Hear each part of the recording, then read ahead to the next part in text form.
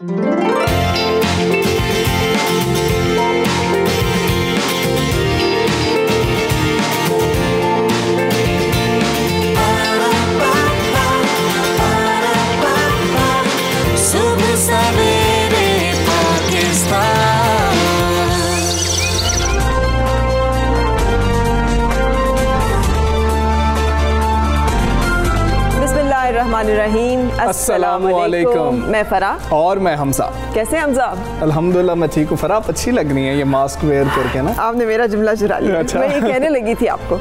लेकिन आप समझे होंगे कि आपके जहन में बिल्कुल आया नहीं ये बेवकूफ़ पागल ये मास्क लगा के शो कर रहे हैं। तो एग्जैक्टली exactly यही आजकल हो रहा है। जो शख्स हमें बाहर मास्क लगाए हुए नज़र आए हमें लगता है ये तो बेवकूफ़ है। बिल्कुल। इसको ज़्यादा ही कोई जो है ना वो अपनी सेहत की परवाह है। डरपोक है। ये डरपोक है। ये एक ऐसी अब मैं और फराज जब कल गए हैं तो हमने बाहर देखा कि लोग मास्क वेयर ही नहीं कर रहे हैं और हमें शायद ऐसे देख रहे थे कि पता नहीं ये कौन लोग हैं इन्होंने मास्क क्यों पहना हुआ है? तो ये एक रवैया बन गया है कि अब हम बिल्कुल मास्क नहीं पहन। और आप अगर इस रवैये का शिकार हैं तो कोई मतलब परेशानी की बात नहीं है। अमरीकी सदर ट्रंप भी इसी रवैये का शिकार है। यानी उन्हें डॉक्टर फाउची जो है वो बेवकूफ़ लगते हैं। बिल्कुल कहते हैं कि पागल हैं। लोग नहीं सुनना चाहते कि कोरोना के बारे में जो है वो एहतियाती तदाबीर इख्तियार करने की ज़रूरत है। इमेजिन अमेरिका के सबसे बड़े इन्फेक्शस जैसे कहते हैं ना डिज़ीज़ एक्सपर्ट ये डॉक्टर और वो कह रहे हैं कि इनकी तो कोई बात जो है वो नहीं सुनना चाहता। और कोई गलत भी नहीं कहते। लोग हमारे यहाँ तो बहुत ज़्यादा हमें लगता है कि इस रवैये का शिकार है लेकिन हमजा एक चीज़ ज़रूर मैं डिस्कस करना चाहूँगी। ऐसे मोमेंट्स भी आते हैं ना जब आपको वाकई इसमें ब्रीथ करना मुश्किल लग रहा होता है। हाँ। आ, मतलब पसीना भी आ रहा होता है। ख़वान के लिए बहुत ज़्यादा चैलेंज है कि मेकअप किया होता है और हम्म। उसमें आपने मेकअप किया है तो निशान पड़ जाएँगे लिपस्टिक ख़राब हो जाएगी। मर्द हजरात के लिए भी। तो उनकी भी लिपस्टिक खराब होती नहीं मेकअप खराब हो सकता ना अब आप वो नहीं समझ रही। खैर फरा मामला ये है कि हमने जब कल इनसे भी वो शेयर करते हैं कि देखा कि बाहर लिखा हुआ है नो मास्क नो सर्विस किसी भी आप शॉप के बाहर जाएँ तो ये लिखा हुआ है लेकिन नो मास्क और सर्विस अवेलेबल है। सर्विस आपको वो दे रहे हैं अगर आपने मास्क नहीं भी पहना अब वो चीज़ें नहीं है। लेकिन एक मॉल में ऐसा था फरा मैं गया था संडे को। मैंने देखा कि वहाँ पर हर शख्स ने मास्क वेयर किया हुआ था। उसकी रीज़न ये थी कि उस मॉल की जो टीम थी वो वहाँ पर मूव कर रही थी और वो जो शख्स ऐसे करता था ना उसको कहता था नहीं सर इसको वेयर करें। इसको और फिर करना पड़ता था इसको ऊपर मगर अभी आपका मास्क भी ठीक नहीं है वो भी नीचे नीचे नीचे मैंने ऊपर रहा मैंने ऊपर करने की कोशिश मेरे अंदर अब ये एक बहुत बड़ा मसला हो गया है और मैं आपको चाहूँगी जो मास्क है ना अगर आप मुझे क्लोज में ज़्यादा नहीं देख सकते लेकिन मैं मास्क को बहुत ज़्यादा यहाँ पर और मैं कोशिश करती हूँ हल्का सा ये वायर वाला हो उसको फिर मैं यूँ हाँ, करके प्रेस कर देती हूँ सो दैट के वहाँ से ना आपकी हवा ब्लॉक हो जाए। और इवन अगर ये जो एरियाज़ हैं और ये भी आपको लग रहा है कि ये लूज़ हो गया है और फिर उसके बाद अब आप क्या जाके लें तो इसको भी आप ऐसे करके तो मज़ीद टाइट कर लें कि ये एरियाज़ जो है ये ब्लॉक हो जाए और यहाँ से भी पूरी तरह यहाँ से ब्लॉक और यहाँ से भी हाँ, और हमजा की तरह किसी ने मास्क पहना हो तो मेरा दिल चाह रहा होता है कि उसका मास्क जो है उसको सेट अच्छा, कर दिया जाए। ये मैंने इसीलिए पहना कि फ़रा मुझे ये बात करो मैं मसला बताऊँ कि हम जो एनक पहनते हैं ना फ़रा उनको ये प्रॉब्लम आती है। ऊपर जो है ना इस तरह से अच्छा। नमी आ जाती है और नज़र नहीं आता। लेकिन फिर भी जितना आप वेयर कर सकते हैं ऊपर कर सकते हैं आप करें। और दूसरी ये गलती नहीं करनी कि अब मैं फ़रा से बात कर रहा हूँ तो मैं बात करते करते अब मैंने बात करनी है। तो मैं हाँ फ़रा हाँ। तो ये सबसे गलत चीज़ है कि जिस वक्त सबसे ज़्यादा ज़रूरत होती है कि आपने मास्क पहना हो उस वक्त आप मास्क नीचे कर लेते हैं। अच्छा ये क्यों करते हैं हम? क्योंकि हमें ना एक दूसरे के एक्सप्रेशन नज़र हाँ। नहीं आते। उसके लिए ज़रूरी है कि हम आँखों से बात करना सीखें। आँखों की ज़बान पढ़ना सीखें। हम दूसरे के जो है ना आँखों में आँखें डालकर बात करें मास्क की सबसे खूबसूरत बात यह है कि आपको दूसरे की आँखों में देखना पड़ता है समझने के लिए कि क्या कह रहा है। ये जो कह रहा है वो किस तरह की बात है? बिल्कुल आप देख आप सोच नहीं रहे कि ये अदब की तरफ़ जा रहे हैं। अभी मीर तकी मीर का एक शेर आएगा आँखों के ऊपर और फरा वो भी हमारे साथ जो है ना शेयर करेंगे। लेकिन दुरुस्त कह रही हैं कि पहनना बहुत ज़रूरी है और जब हम इसको एक दफ़ा उतार लेते हैं जैसे मैंने और फरा ने अब उतार लिया है हाँ। तो इसको अगर मैंने यहाँ पर रख दिया तो दोबारा इसका इस्तेमाल ना करें। क्योंकि जिस सरफेस पे हमने रखा है वहाँ पर हो सकता है कि वहाँ पर कोरोना का जो थे वायरस वहाँ पर मौजूद हो। तो इसको दोबारा वेयर नहीं करना और ऐसा भी नहीं करना कि हाथ में ऐसे ऐसे पकड़ लिया और फिर वही वही पहन लिया। अच्छा मेरी तो गाड़ी में ना हमजा हम्म। अब तीन चार किस्म के मास्क जो है ना वो लटके होते हैं और वो मास्क मौके की मुनासिबत से होते हैं। ये वाला मास्क बाज़ार जाने के लिए ये मास्क जो है ये ज़रा अच्छा। जाना है। तो आपने ये वाला मास्क अब तो मास्क भी आपकी एक तरह से मतलब ब्रांड के उसमें आ गए हैं कि आपने कितना कीमती मास्क है वो लगाया हुआ है लेकिन खुदा के लिए एहतियात ज़रूर कीजिए। ये आपको सियासी रहनुमा नहीं भी कह रहे ये आपको लोग नहीं भी कह रहे। आपकी जान बहुत कीमती है अपने प्यारों के लिए। लोगों के लिए हो सकता है सिर्फ़ एक नंबर हो कि अम्मात की तादाद में इतना इजाफा हो गया। आप किसी के लिए पूरी दुनिया पूरी हो सकती है, उसकी पूरी दुनिया बर्बाद हो सकती है अगर आपको कुछ हो जाए तो अपना बहुत ख्याल और अगर आप मास्क जो है अफोर्ड नहीं कर सकते कि बार बार नया मास्क लिया जाए तो डॉक्टर फैसल सुल्तान ने भी ये कहा था कि आप कपड़े कपड़े का- मास्क ले लें। माँ बाप जो हैं बच्चों को सी के दे दें लेकिन इसका इस्तेमाल ज़रूर करें। फरा अपनी टॉप स्टोरीज की जाने चलते हैं। मुल्की सियासत का पारा हाई। पीडीएम के धुआंधार जल से वज़ीर आज़म भी जारहाना खेलने लगे। ऑपोजिशन को कोई रियायत न देने का फैसला। कैप्टन रिटायर्ड सफदर की गिरफ्तारी से सियासी कशीदगी की आग मजीद भड़क उठी। टिकटॉक स्टार्स की सुनी गई। टिकटॉक को पाकिस्तान में बहाल कर दिया गया। पीटीए के मुताबिक इंतजामिया ने गैर अखलाकी मवाद फैलाने वाले अकाउंट्स ब्लॉक करने की यकीन दहानी कराई है। मुल्क में 9 अक्टूबर को टिकटॉक पर पाबंदी लगाई गई थी। हेलो जी, मैं चाँद से बोल रहा हूँ। अब ये मज़ाक जल्द हकीकत बन जाएगा। अमरीकी खिलाई इदारे नासा और नोकिया की मुश्तर मुहिम। नासा चाँद पर 4G के सेलुलर टावर्स लगाने के लिए नोकिया को 14 मिलियन के फंड्स देगा। सुबह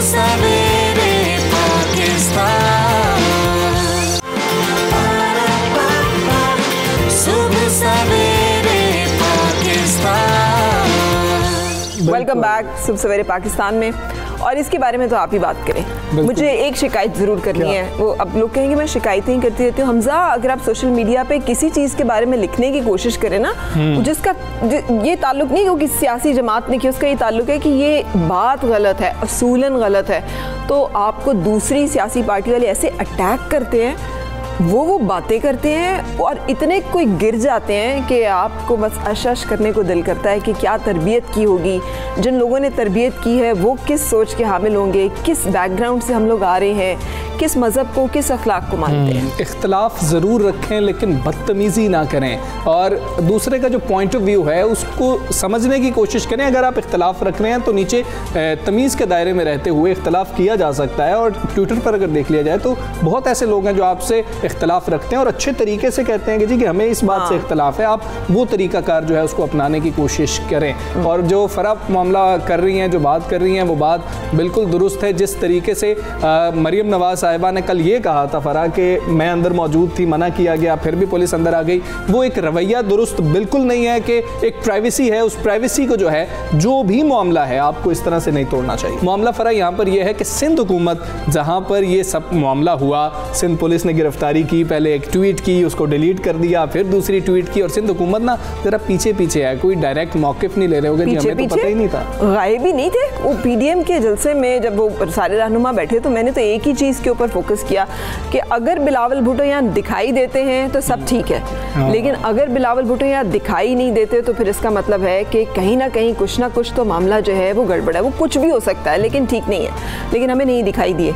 अप फ्रंट वजह से आप कह रहे हैं स्टेटमेंट्स भी दिखाई नहीं दिए। वैसे मैं ये सारे उसके बाद ना एक मुझे वो शेर याद आई जा रहा था तुम चले जाओगे तो सोचेंगे हमने क्या खोया हमने क्या पाया। हाँ। सो इस सारी एपिसोड में क्या हासिल वसूल हुआ कि अगर छोड़ना था तो गिरफ़्तार क्यों किया? कायद अजम का जो सबसे पहली बात तो ये कि इसमें किसी को कोई शक और इख्तलाफ हो ही नहीं सकता कि मज़ार एक कायद की बेहरमती अव्वल तो वैसे ही हमें जो है किसी की आराम गाह जो है आखिरी आराम गाह के एहतराम का तकदस का एक हुक्म है ख्याल करना है। लेकिन और फिर मज़ार कायद की बात हो जाए और फिर जिसके बारे में कानून साजी भी मौजूद हो जिसकी शेख नंबर छः और आठ हाँ। मुसलसल आप पे एम्फोसाइज कर रही हूँ कि आपने उसकी 10 फुट के अंदर जो है कोई ऐसी हरकत नहीं करनी कोई ऐसी कार्रवाई नहीं करनी तो यकीनी तौर पे कोई भी उसको इंडोर्स तो नहीं कर सकता।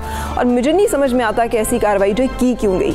लेकिन की गई तो और गिरफ्तारी अमल में आई तो गिरफ़्तार करने के बाद फिर अगर इतनी जल्दी छोड़ दिया गया। कहा कि जी बेल एबल जो ऑफेंस था इसलिए जी एक लाख रुपए के मचल के जमा करवाए जाएँ और फिर उस पर ज़मानत होगी। अब मामला ये है कि हुकूमत ये कह रही है पाकिस्तान तहरीक इंसाफ जो है वो ये मौक़ रखती है कि पीडीएम में जो है दरारें पड़ चुकी हैं। और ये हमारा तो कोई इससे ताल्लुक ही नहीं है ये तो सब सिंध हुकूमत ने खुद ही किया है। और मरियम नवाज़ ने ये बात की कल प्रेस कॉन्फ्रेंस में कि नहीं हमारे मामला ठीक है एक लम्हे के लिए भी मेरे दिमाग में ये नहीं आया कि ये सिंध हुकूमत करवा रही है। ठीक है चलें जान लेते हैं इस बारे में।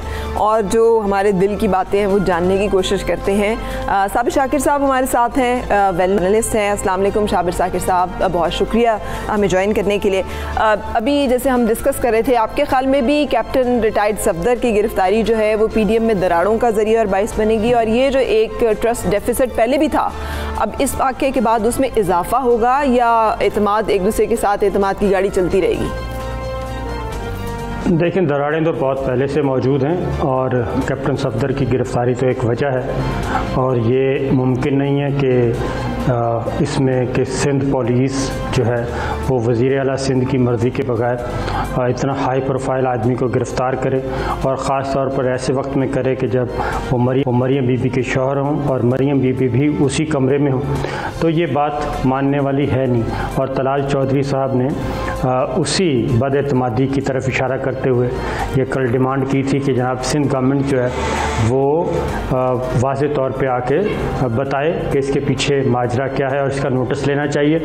जो चीज़ें अब तक सामने आई हैं उसमें तो अ, हम बिल्कुल ये नतीजा खस करने में बिल्कुल इसमें हम कोई अमर माने नहीं कि ये सिंध पुलिस ने जो कुछ किया ये सिंध गवर्नमेंट को इस बात का इलम था और सिंध पुलिस ने इस बात की वजाहत भी कर दी अपने ट्विटर अकाउंट के ज़रिए। और ख़ास तौर पे सईद गनी साहब ने भी जो पहले ट्वीट किया, उसमें भी उन्होंने ये कहा था कि जनाब ये जो कुछ कैप्टन सफ्तर ने किया, वो बहुत काबिल मजम्मत है, अफसोसनाक है, ऐसा नहीं होना चाहिए था।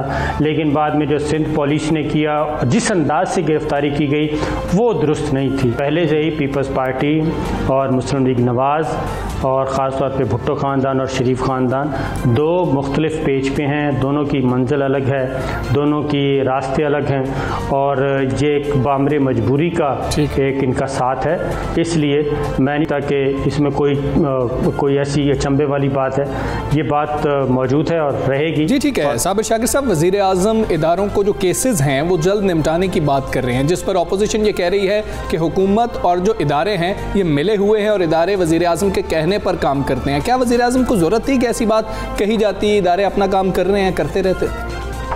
हर मामले को वो इदारे पे डाल रहे कोई भी मामला हो, खा के अपना सफ्तर का हो, या कोई और मामला वो सब का सब रुख मोड़ देते हैं इदारों की तरफ़ और इदारे भी अफवाज पाकिस्तान की तरफ़। उसकी वजह यह है कि एक वाद इदारा बचा हुआ है, हमारा अफवाज पाकिस्तान है और दूसरा जुडिशरी बचा हुआ है। जहाँ से इनका जो धौंस धांधली है, वो नहीं चल रही। इसलिए इसमें कोई ज़रा बराबर भी शक नहीं है कि इनका जो टारगेट है, इनका जो फोकस है, वो सारे का सारा है। इदारों को अंडर प्रेशर करना और इदारों को अंडर प्रेशर करके अपने लिए रिलीफ हासिल करना।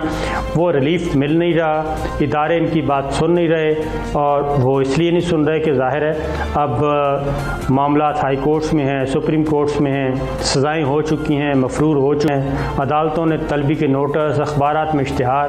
तो इदारे भी क्या करेंगे? इदारे भी एक कानून और कायदे और जबते के परमिशन साहब अगर ये कहा जाए इस वक्त पाकिस्तान की जो सियासत है वो मियाँ नवाज़ शरीफ के गिर्द घूम रही है क्योंकि मरीम नवाज़ ने भी कहा कि वज़ीर आज़म जो हैं कहाँ से उनकी तकरीरें शायद छुप छुप के सुन रहे थे उन्होंने ये बात की और फिर जो बातें आई कि उनको तकरीर करने से आसिफ अली जरदारी साहब ने मना कर दिया कि इनकी जो तकरीर है वो नशर ना की जाए। तो क्या आप समझते हैं जो नून लीग इस वक्त कोशिश कर रही है कि पीटीआई को बिल्कुल इरेलीवेंट कर दिया जाए, क्योंकि डायरेक्टली इदारों के बारे में बात की जा रही है?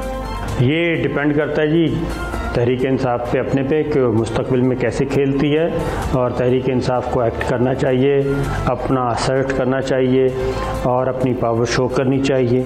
क्योंकि जो पॉलिटिकल मामला हैं, वो ज़ाहिर है पॉलिटिकल गवर्नमेंट और प्राइम मिनिस्टर जो चीफ़ एग्जीक्यूटिव हैं, उनकी रिस्पॉन्सिबिलिटी है।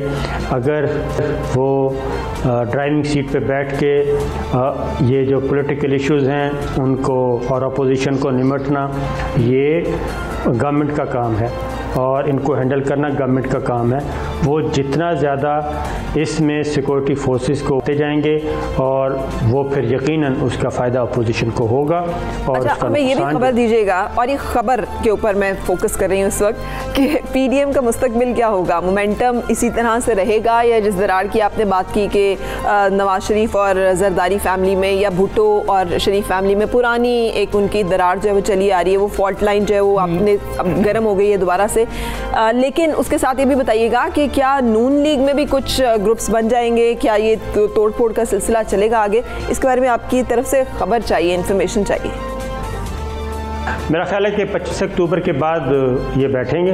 कोयटा वाला जलसा तो अभी होना है। उसमें भी देखते हैं क्योंकि क्योंकि जो मोमेंटम था लाहौर लाहौर कह रहा हूँ गुजरा वाला में वो ज़ाहिर है मोमेंटम वो वाला ट्रस्ट जो है वो नहीं देखा गया कराची। कराची के जलसे में। कराची में नवाज़ शरीफ साहब तकरीर करना चाह रहे थे वो नहीं कर सके। और अब 25 अक्टूबर का जलसा है वो कोयटा में है। वहाँ पे देखते हैं कि कौन क्या कहता है और क्या बोलता है। उसके बाद फिर अगला जो मंजरनामा है, वो वाज हो सकेगा। लेकिन एक बात तय है कि पीपल्स पार्टी कभी भी नहीं चाहेगी। वो, उन्होंने अपना एक, हदूद क़यूद मुतन किए हुए हैं। वो ना तो पार्लीमान को नुकसान पहुंचाना चाहती है ना वो पार्लियामेंट्री सिस्टम को नुकसान पहुंचाना चाहती है ना इस जमहूरी सेटअप को नुकसान पहुंचाना चाहती है। और वो आयन और कानून के दायरे में रह के जो कुछ भी करना है वो करेगी। उससे बियॉन्ड अगर कोई शरीर का अपना एजेंडा है तो उसके लिए पीपल्स पार्टी अपने कंधे नहीं देगी। तो इंतज़ार कीजिए। है। पीपल्स पार्टी अपने कंधे जो है वो नहीं देने वाली है। साबिर शाकिर साहब बहुत शुक्रिया आपका। और ये कोई नई खबर लगी आपको? Is there something new breaking in it ये अगर ये इसके अदरवाइज़ कुछ पता चलता तो फिर हर एक शख्स के लिए एक अहम बात हो सकती थी। इसीलिए मौलाना साहब कह रहे थे कि जी कि मुझे रिटर्न दें कि आप लोग इस दफ़ा जो है मेरा साथ देंगे। इस दफ़ा लग तो रहा है कि नून लीग और मौलाना साहब ऐसे मौलाना साहब समझे जाते हैं कि वो जरदारी साहब के ज़्यादा करीब है लेकिन इस वक्त लग रहा है कि नून लीग और मौलाना साहब ज़्यादा करीब है। अच्छा और कल ना मेरी और हमजा की इस पे खासी बहस होती रही है जो अभी साबिर शाकिर साहब ने कहा है कल पीडीएम के इजलास में राजा परवेज अशरफ ने इससे भी सवाल किया गया हाँ। कि वो नवाज़ शरीफ साहब तकरीर करना चाह रहे थे तो उनको रोका गया तो उन्होंने कहा नहीं नहीं हमें तो इल्म ही नहीं है इस बारे में कुछ। लेकिन साबिर शाकिर साहब ने भी अभी यही कहा है कि वो तकरीर करना चाह रहे थे और उन्हें रोका गया क्योंकि उससे पहले भी एक स्टेटमेंट हाँ। बिलावल भुट्टो साहब के हवाले से आई थी कि वो इस बयानिए से इतफाक नहीं करते जो इतना सख्त इदारों के खिलाफ मजामत का है। तो हमजा मेरी बात को नहीं मान रहे थे तो हमजा वो बिल्कुल वो मामला था उसके ऊपर लेकिन नहीं, नहीं, मैं- आपने एक और चीज़ देखी कल? राजा परवेज अशरफ साहब सीनियर नायब सदर हैं वो बैठे हुए थे वहाँ पर। पीपल्स पार्टी की नुमाइंदगी कर रहे थे। जब सवाल किया ना साहबी ने उनसे कि अब इन लोगों के खिलाफ जो आप समझ रहे हैं, सिंध हुकूमत समझ रही है कि पुलिस ने गलत तरीके से जाकर गिरफ्तारी की, उनके खिलाफ क्या कार्रवाई की जाएगी? मरीम नवाज़ साहिबा ने जवाब नहीं दिया। मौलाना साहब नहीं उस पर बोले इवन राजा परवेज अशरफ साहब नहीं बोले फिर नासिर हुसैन शाह साहब को माइक दे दिया गया। और नासिर हुसैन शाह साहब ने कहा कि जी कि इस पर हम कमेटी बना रहे हैं वज़ीर अला साहब इस पर तहकीकात करवा रहे हैं तहकीकात होंगी तो फिर मामला चलेंगे। और आपको पता है जब तहकीकात ये पार्टीज़ करवाती हैं तो अभी तक सेनेट का मामला भी सामने नहीं आया। देखो से एक वो शेर है सुना मैं तुम बतलाओ कि हम बतलाएँ क्या? पूछते हैं वो कि गालिब कौन है? हाँ तुम बतलाओ कि हम बतलाएँ क्या? अच्छा जी क्या? नहीं वो उसमें तुम सामने उसमें अच्छा जी ब्रेक के लिए रुकना है और उसके बाद फिर मिलते हैं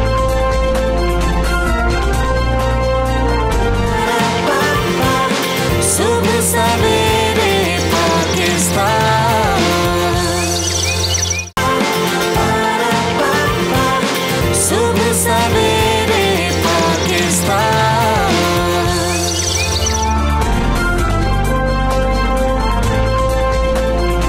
बैक सुबह सवेरे पाकिस्तान में। और अब हम बात करेंगे एक खुश आइंद फैसला है। इसे हाँ। खुश आइंद इसलिए कहेंगे कि डिजिटल इकानमी की बात की जाती है पूरी दुनिया बात करती है freedom of speech and freedom of expression की।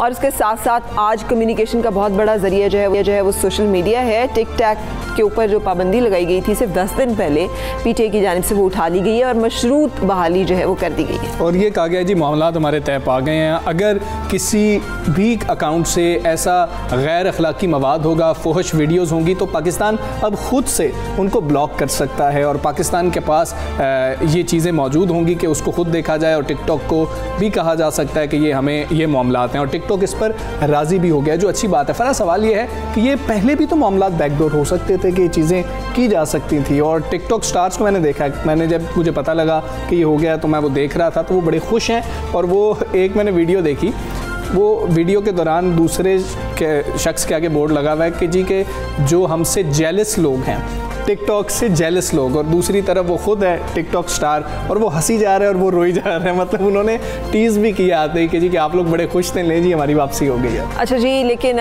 बात फिर वहीं पे आती है घूम के जो हम पहले बात कर रहे थे कि आप एक बात कर दें और उसके बाद आप देखें कि अगले जो हैं वो कौन कौन सी नस्ल की गालियाँ देते हैं। हम्म। किस किस अंदाज से मुखातिब होते हैं? तो ये तो एक रवैया है हमारा हाँ। पाबंदियाँ लगाने से रवैया तो नहीं बदला जा सकता। उसको कैसे बदलना है? उसके लिए कौन से कानून साजी करने हैं? कि कैसे उसको आपने करना है लेजिस्लेट के कम अज़ कम ज़बान में अखलाक में कोई तो हदूद कयूद का हम्म। ख्याल रखा जाए इसके बारे में बात करेंगे लेकिन उसामा खिलजी हमारे साथ हैं और एक्सपर्ट हैं मीडिया के हवाले से बहुत सारी इंफॉर्मेशन आपके साथ शेयर करने जा रहे हैं लेकिन अच्छा अब जो अभी हम बात कर रहे थे उसी को थोड़ा सा अगर मैं कंटिन्यू करूँ कि ये जो है ना हमारा जो सोशल हम्म। रवैया हमजा ये बहुत खौफनाक है बहुत खौफनाक है। लेकिन फ़रा, उसका हल, हमने पहले भी ये बात की थी, जब टिकटॉक को बैन किया गया था, हम दोनों ने ये बात कही थी कि ये कोई हल नहीं है कि आप उस ऐप को ही बंद कर दें। इन रवैयों को दुरुस्त करने की बहुत ज़्यादा ज़रूरत है। Usama Khilji Sahab welcome thank you very much for joining us in Subah Savere Pakistan फरमाइएगा कि ये टिकटॉक इंतज़ामिया जो है, ये मुतन शुदा कोई कोड ऑफ़ कंडक्ट तय किया गया है, कोई रूल्स बनाए गए हैं, कैसे अमल दरामद यकीनी बनाया जाएगा, जिसे हम गैर अखलाकी कहते हैं, उसे वो गैर अखलाकी मानेंगे? जी देखिए थैंक यू पहले तो बात यह है कि पहले से टिकटॉक की कम्युनिटी स्टैंडर्ड्स एग्जिस्ट करती थी, जिसपे पोर्नोग्राफिक न्यूड और इस तरह का मवाद जो है और रेडी अगेंस्ट उनके स्टैंडर्ड्स था। तो उस पर एक्शन भी लिया जाता था और उस पर यूज़र्स खुद भी रिपोर्ट कर सकते थे। जहाँ जहाँ तक पीटीए की ब्लॉक की बात है, मेरे ख्याल से ये एक टैक्टिक ही है, क्योंकि अगर आप देखें कि पीटीए हुकूमत की तरफ़ से सोशल मीडिया के नए रूल्स आ रहे हैं। और हमें पता है कि सोशल मीडिया पे काफ़ी पाबंदियाँ लग चुकी हैं। पिछले कुछ सालों में जिसमें कवानीन का इस्तेमाल किया जा रहा है, लोगों की, खासकर जो तनकीद हो रही है, उसको खामोश करने के लिए। तो इसमें यही नज़र आता है कि एक प्रेसिडेंट सेट किया जा रहा है कि अगर सोशल मीडिया की कंपनियाँ जो हैं पीटीए और हुकूमत की जो डिमांड्स हैं कि कुछ कंटेंट आप हटाएँ या वो सियासी हो या वो दीगर हो, वो जब वो नहीं कंप्लाई करते तो फिर वो सेट किया जा रहा है कि आप इस कंटेंट को अगर नहीं हटाएँगे, हमारी डिमांड और सेंसरशिप को नहीं मानेंगे आप तो फिर आपका प्लेटफॉर्म ब्लॉक भी किया जा सकता है। मेरे ख्याल टिकटॉक उसका एक पहला जो है सॉफ्ट टारगेट था जिसमें मोरालिटी ऑब्सैनिटी हमने देखा है फहाशी का बहाना इस्तेमाल करना हुकूमत के लिए ज़्यादा आसान था। इससे आगे जब फेसबुक फेसबुक ट्विटर गूगल वगैरह जो है जब गवर्नमेंट की डिमांड सेंसरशिप नहीं मानेंगे फिर उनके माइंड में टिकटॉक का बैन होगा और यूट्यूब का जो पिछला चार साल का बैन था वो होगा। कि अगर हम हुकूमत की सेंसरशिप की डिमांड ना माने शायद हमारा प्लेटफॉर्म भी ब्लॉक हो जाए ठीक है, उसामा ये बताइए कि ये तयन कैसे होगा कि ये फहश मवाद है, ये फहश मवाद नहीं है? और जिस तरह आपने कहा कि सियासी तौर पर भी लोग वहाँ पर काफ़ी एक्टिव हैं, वो सियासी पार्टीज़ को भी तनकीद का निशाना बनाते हैं, लोग उनको फॉलो भी करते हैं तो क्या उनको भी फहश मवाद के मद में लाकर बंद कर दिया जाएगा? ऐसा हो सकता है या कोई चेक बाकायदा होगा कि ये फहश है, तभी बंद होगा? जी सबसे बड़ी जो कंफ्यूजन है वो यही है कि क्या डेफिनेशन है और क्या मायने है फहाशी की ऑब्सैनिटी की इमोरल कंटेंट की हम्म। और वो उस पर जो है कोई ट्रांसपेरेंसी हमें नहीं दी जा रही अगर आप देखें ये Pakistan electronic prevention of electronic crime act 2016 का जो कानून है जिसे साइबर क्राइम लॉ कहा जाता है उसमें सेक्शन 37 है जो डील करता है अनलॉफुल ऑनलाइन कॉन्टेंट से लेकिन उसका जो ये इस्तेमाल किया जा रहा है, वो बहुत ज़्यादा जो है घबराने की बात है पाकिस्तानी, पाकिस्तानियों के लिए। और दूसरा, जो आपने सियासी मवाद की बात की तो उसमें भी सवाल उठ रहे हैं, क्योंकि काफ़ी इस तरह के कंटेंट अगर आप फेसबुक गूगल और ट्विटर की ट्रांसपेरेंसी रिपोर्ट देखें, काफ़ी ऐसा कंटेंट जो सियासी नेचर का था और जिसमें मोरालिटी की कोई बात नहीं थी, उसकी रिक्वेस्ट जो है हमारी हुकूमत से गई नहीं और इतना भी कि पिछले साल पाकिस्तानी हुकूमत वो हुकूमत थी जिसने फेसबुक को सबसे ज़्यादा रिक्वेस्ट कंटेंट टेक डाउन की भेजी थी और जिसमें कुछ फ़ीसद कंटेंट पे हटाया गया था। देखें हुकूमत जो है अक्सर इन एप्लीकेशन को रिक्वेस्ट भेजती है दी है कि इस किस्म का कंटेंट या ये कंटेंट है उनको रिपोर्ट करती है और कहती है इस कंटेंट को आप प्लीज़ हटा दें। कंपनियाँ जो हैं फिर असेस करती हैं कि क्या ये कंटेंट हमारे जो कम्युनिटी स्टैंडर्ड्स हैं या हमारे प्लेटफॉर्म के रूल्स हैं उनकी खिलाफ वर्जी करता है या नहीं। अक्सर अगर इस तरह सियासी मवाद हो जिसमें तनकीद की जा रही हो, उसमें जो है उनकी कम्युनिटी स्टैंडर्ड्स के खिलाफ कंटेंट नहीं जाता, लेकिन हुकूमत चाहती है कि वो कंटेंट हट जाए। जब जब वो टेक प्लेटफॉर्म की बात नहीं मानते हैं तो तभी इस किस्म का प्रेशर जो है बिल्ड करना शुरू होता है। तो जब उन्होंने एक प्लेटफॉर्म को ब्लॉक कर दिया ये कहते हुए कि इन्होंने हमारी सेंसरशिप की रिक्वेस्ट जो है वो नहीं मानी तो फिर उसके बाद और प्लेटफॉर्म को एक मैसेज चला जाता है कि अगर हम भी जो है इनकी डिमांड नहीं मानेंगे तो शायद ये हमारा प्लेटफॉर्म भी कल को बंद कर दें कितने दिनों ठीक है उसामा आखिर में जी उसामा आखिर में ये बता दें कि जो टिकटॉक का है वो डिजिटल इकोनॉमी से पाकिस्तान में क्या ताल्लुक है? क्या जो टिकटॉक स्टार्स हैं वो कुछ पैसे भी कमा रहे थे इससे? टैक्स भी देते हैं वो? बिल्कुल टिकटॉक की इकोनॉमी देखें पाकिस्तान में 43 मिलियन डाउनलोड्स हुए टिकटॉक के यानी कि चार करोड़ से ज़्यादा जो है डाउनलोड हुए दो करोड़ से ज़्यादा एक्टिव यूज़र्स हैं टिकटॉक के। तो इन पे जो है एडवर्टाइजिंग और मार्केटिंग कंपनीज़ का बहुत बड़ा रोल होता है जो ज़्यादा टिकटॉक के बड़े स्टार्स होते हैं जिनकी फॉलोइंग ज़्यादा होती है उनकी कोलाबोरेशन होती हैं डिफरेंट ब्रांड्स डिफरेंट कंपनियों के साथ जो एक डील्स करती हैं जिसमें फाइनेंशियल डील्स होती हैं जिनके तहत उनके प्रोडक्ट को प्रमोट किया जाता है। और इसके अलावा भी टिकटॉक मोनेटाइजेशन की तरफ़ भी जा रहा है। तो पाकिस्तान को कोशिश करनी चाहिए कि उन मुल्कों में एक बने जिसमें टिकटॉक का कंटेंट मोनेटाइज हो जिसका मतलब है कि जिनके हम्म। ज़्यादा फॉलोअर्स हो उनकी वीडियोस अगर ज़्यादा देखी जाए तो उनको उसकी भी पेमेंट मिले। तो ये डिजिटल इकोनॉमी के लिए बहुत ज़्यादा फ़ायदेमंद हो सकता है। कंपनियों के लिए भी अच्छा होता है और जो टिकटॉक स्टार्स खुद हैं फॉलोइंग है उनके लिए भी लेकिन टैक्स नेक में भी तो आना चाहिए ना। अगर अब जैसे गवर्नमेंट ने ये बात भी की थी। पिछले दिनों यूट्यूब के हवाले से भी इस तरह की बातें कुछ चल रही थी कि जो लोग फिर जो फॉलोअर्स हैं वो अर्न कर रहे हैं वहाँ से तो उस आमदनी को भी तो टैक्स नेट में आना चाहिए, बाकी तमाम प्रोफेशन की तरह। बिल्कुल इनकम टैक्स टैक्स तो हर किसी पे लागू होता है तो अगर आपका इनकम आ रहा है उस पर जो है हर किसी का वो फ़र्ज़ बनता है कि वो अपना टैक्स पे करे मेरे ख्याल से कंटेंट क्रिएटर्स ऑनलाइन जो है एक्सेप्शन नहीं है। और मेरे ख्याल से हुकूमत ने इस तरह की वो भी कर दी है कि अगर आप फाइलर नहीं है तो आपको डिफरेंट ट्रांजेक्शन में फ़ायदा नहीं होता। तो तो बंदे की अपने इंटरेस्ट में भी जाता है कि आप फाइलर बने और इनकम टैक्स फ़ाइल करें। बिल्कुल ठीक है हमारे साथ रहे। सुबह सवेरे पाकिस्तान सुबह सवेरे भाई अब तो जो अगली बात है ना वो तो अफसानवी से लगती है रोमांटिक तरीन लगती है। यानी जब क्यों ये वादे करते हैं जो आ, पूरे नहीं किए जा सकते? मतलब मैं चाँद तारे तोड़ लाऊँगा मैं तुम्हारे लिए पता नहीं क्या कर दूँगा ये अब उस हमजा मेरी तरफ़ ऐसे देखते हैं जैसे ये तो होता ही नहीं है ये अच्छा ये, ये वादे ये करने वाले जो हैं वो बेवकूफ़ हैं वो झूठ बोलते हैं कि मैं चाँद तारे तोड़ लाऊँगा तो जो उस पर यकीन कर रहे होते हैं वो बेवकूफ़ नहीं है वो कहीं वो कैसे यकीन कर लेते हैं कि भाई ये दुकान पे नहीं जा सकता तो चाँद पे होते हैं वो तो सादा लो होते हैं। अब अब देखिए ना कोई भी किसी को झूठ जो बोले गलती उसकी होती है कि झूठ को जो मान रहा होता है उसकी होती है? इस सादगी पे कौन ना मर जाए खुदा? लड़ते हैं और हाथ में तलवार भी नहीं। वही वही वाला मामला है ये और अजीब मामला है आप यकीन कैसे करते हैं? लेकिन अब चाँद से हेलो हेलो की आवाज़ें आ सकती हैं फरा हम्म, आ सकती हैं। और ये जो है ना ये आपको मज़ाक समझ रहे हैं आप मज़ाक नहीं है।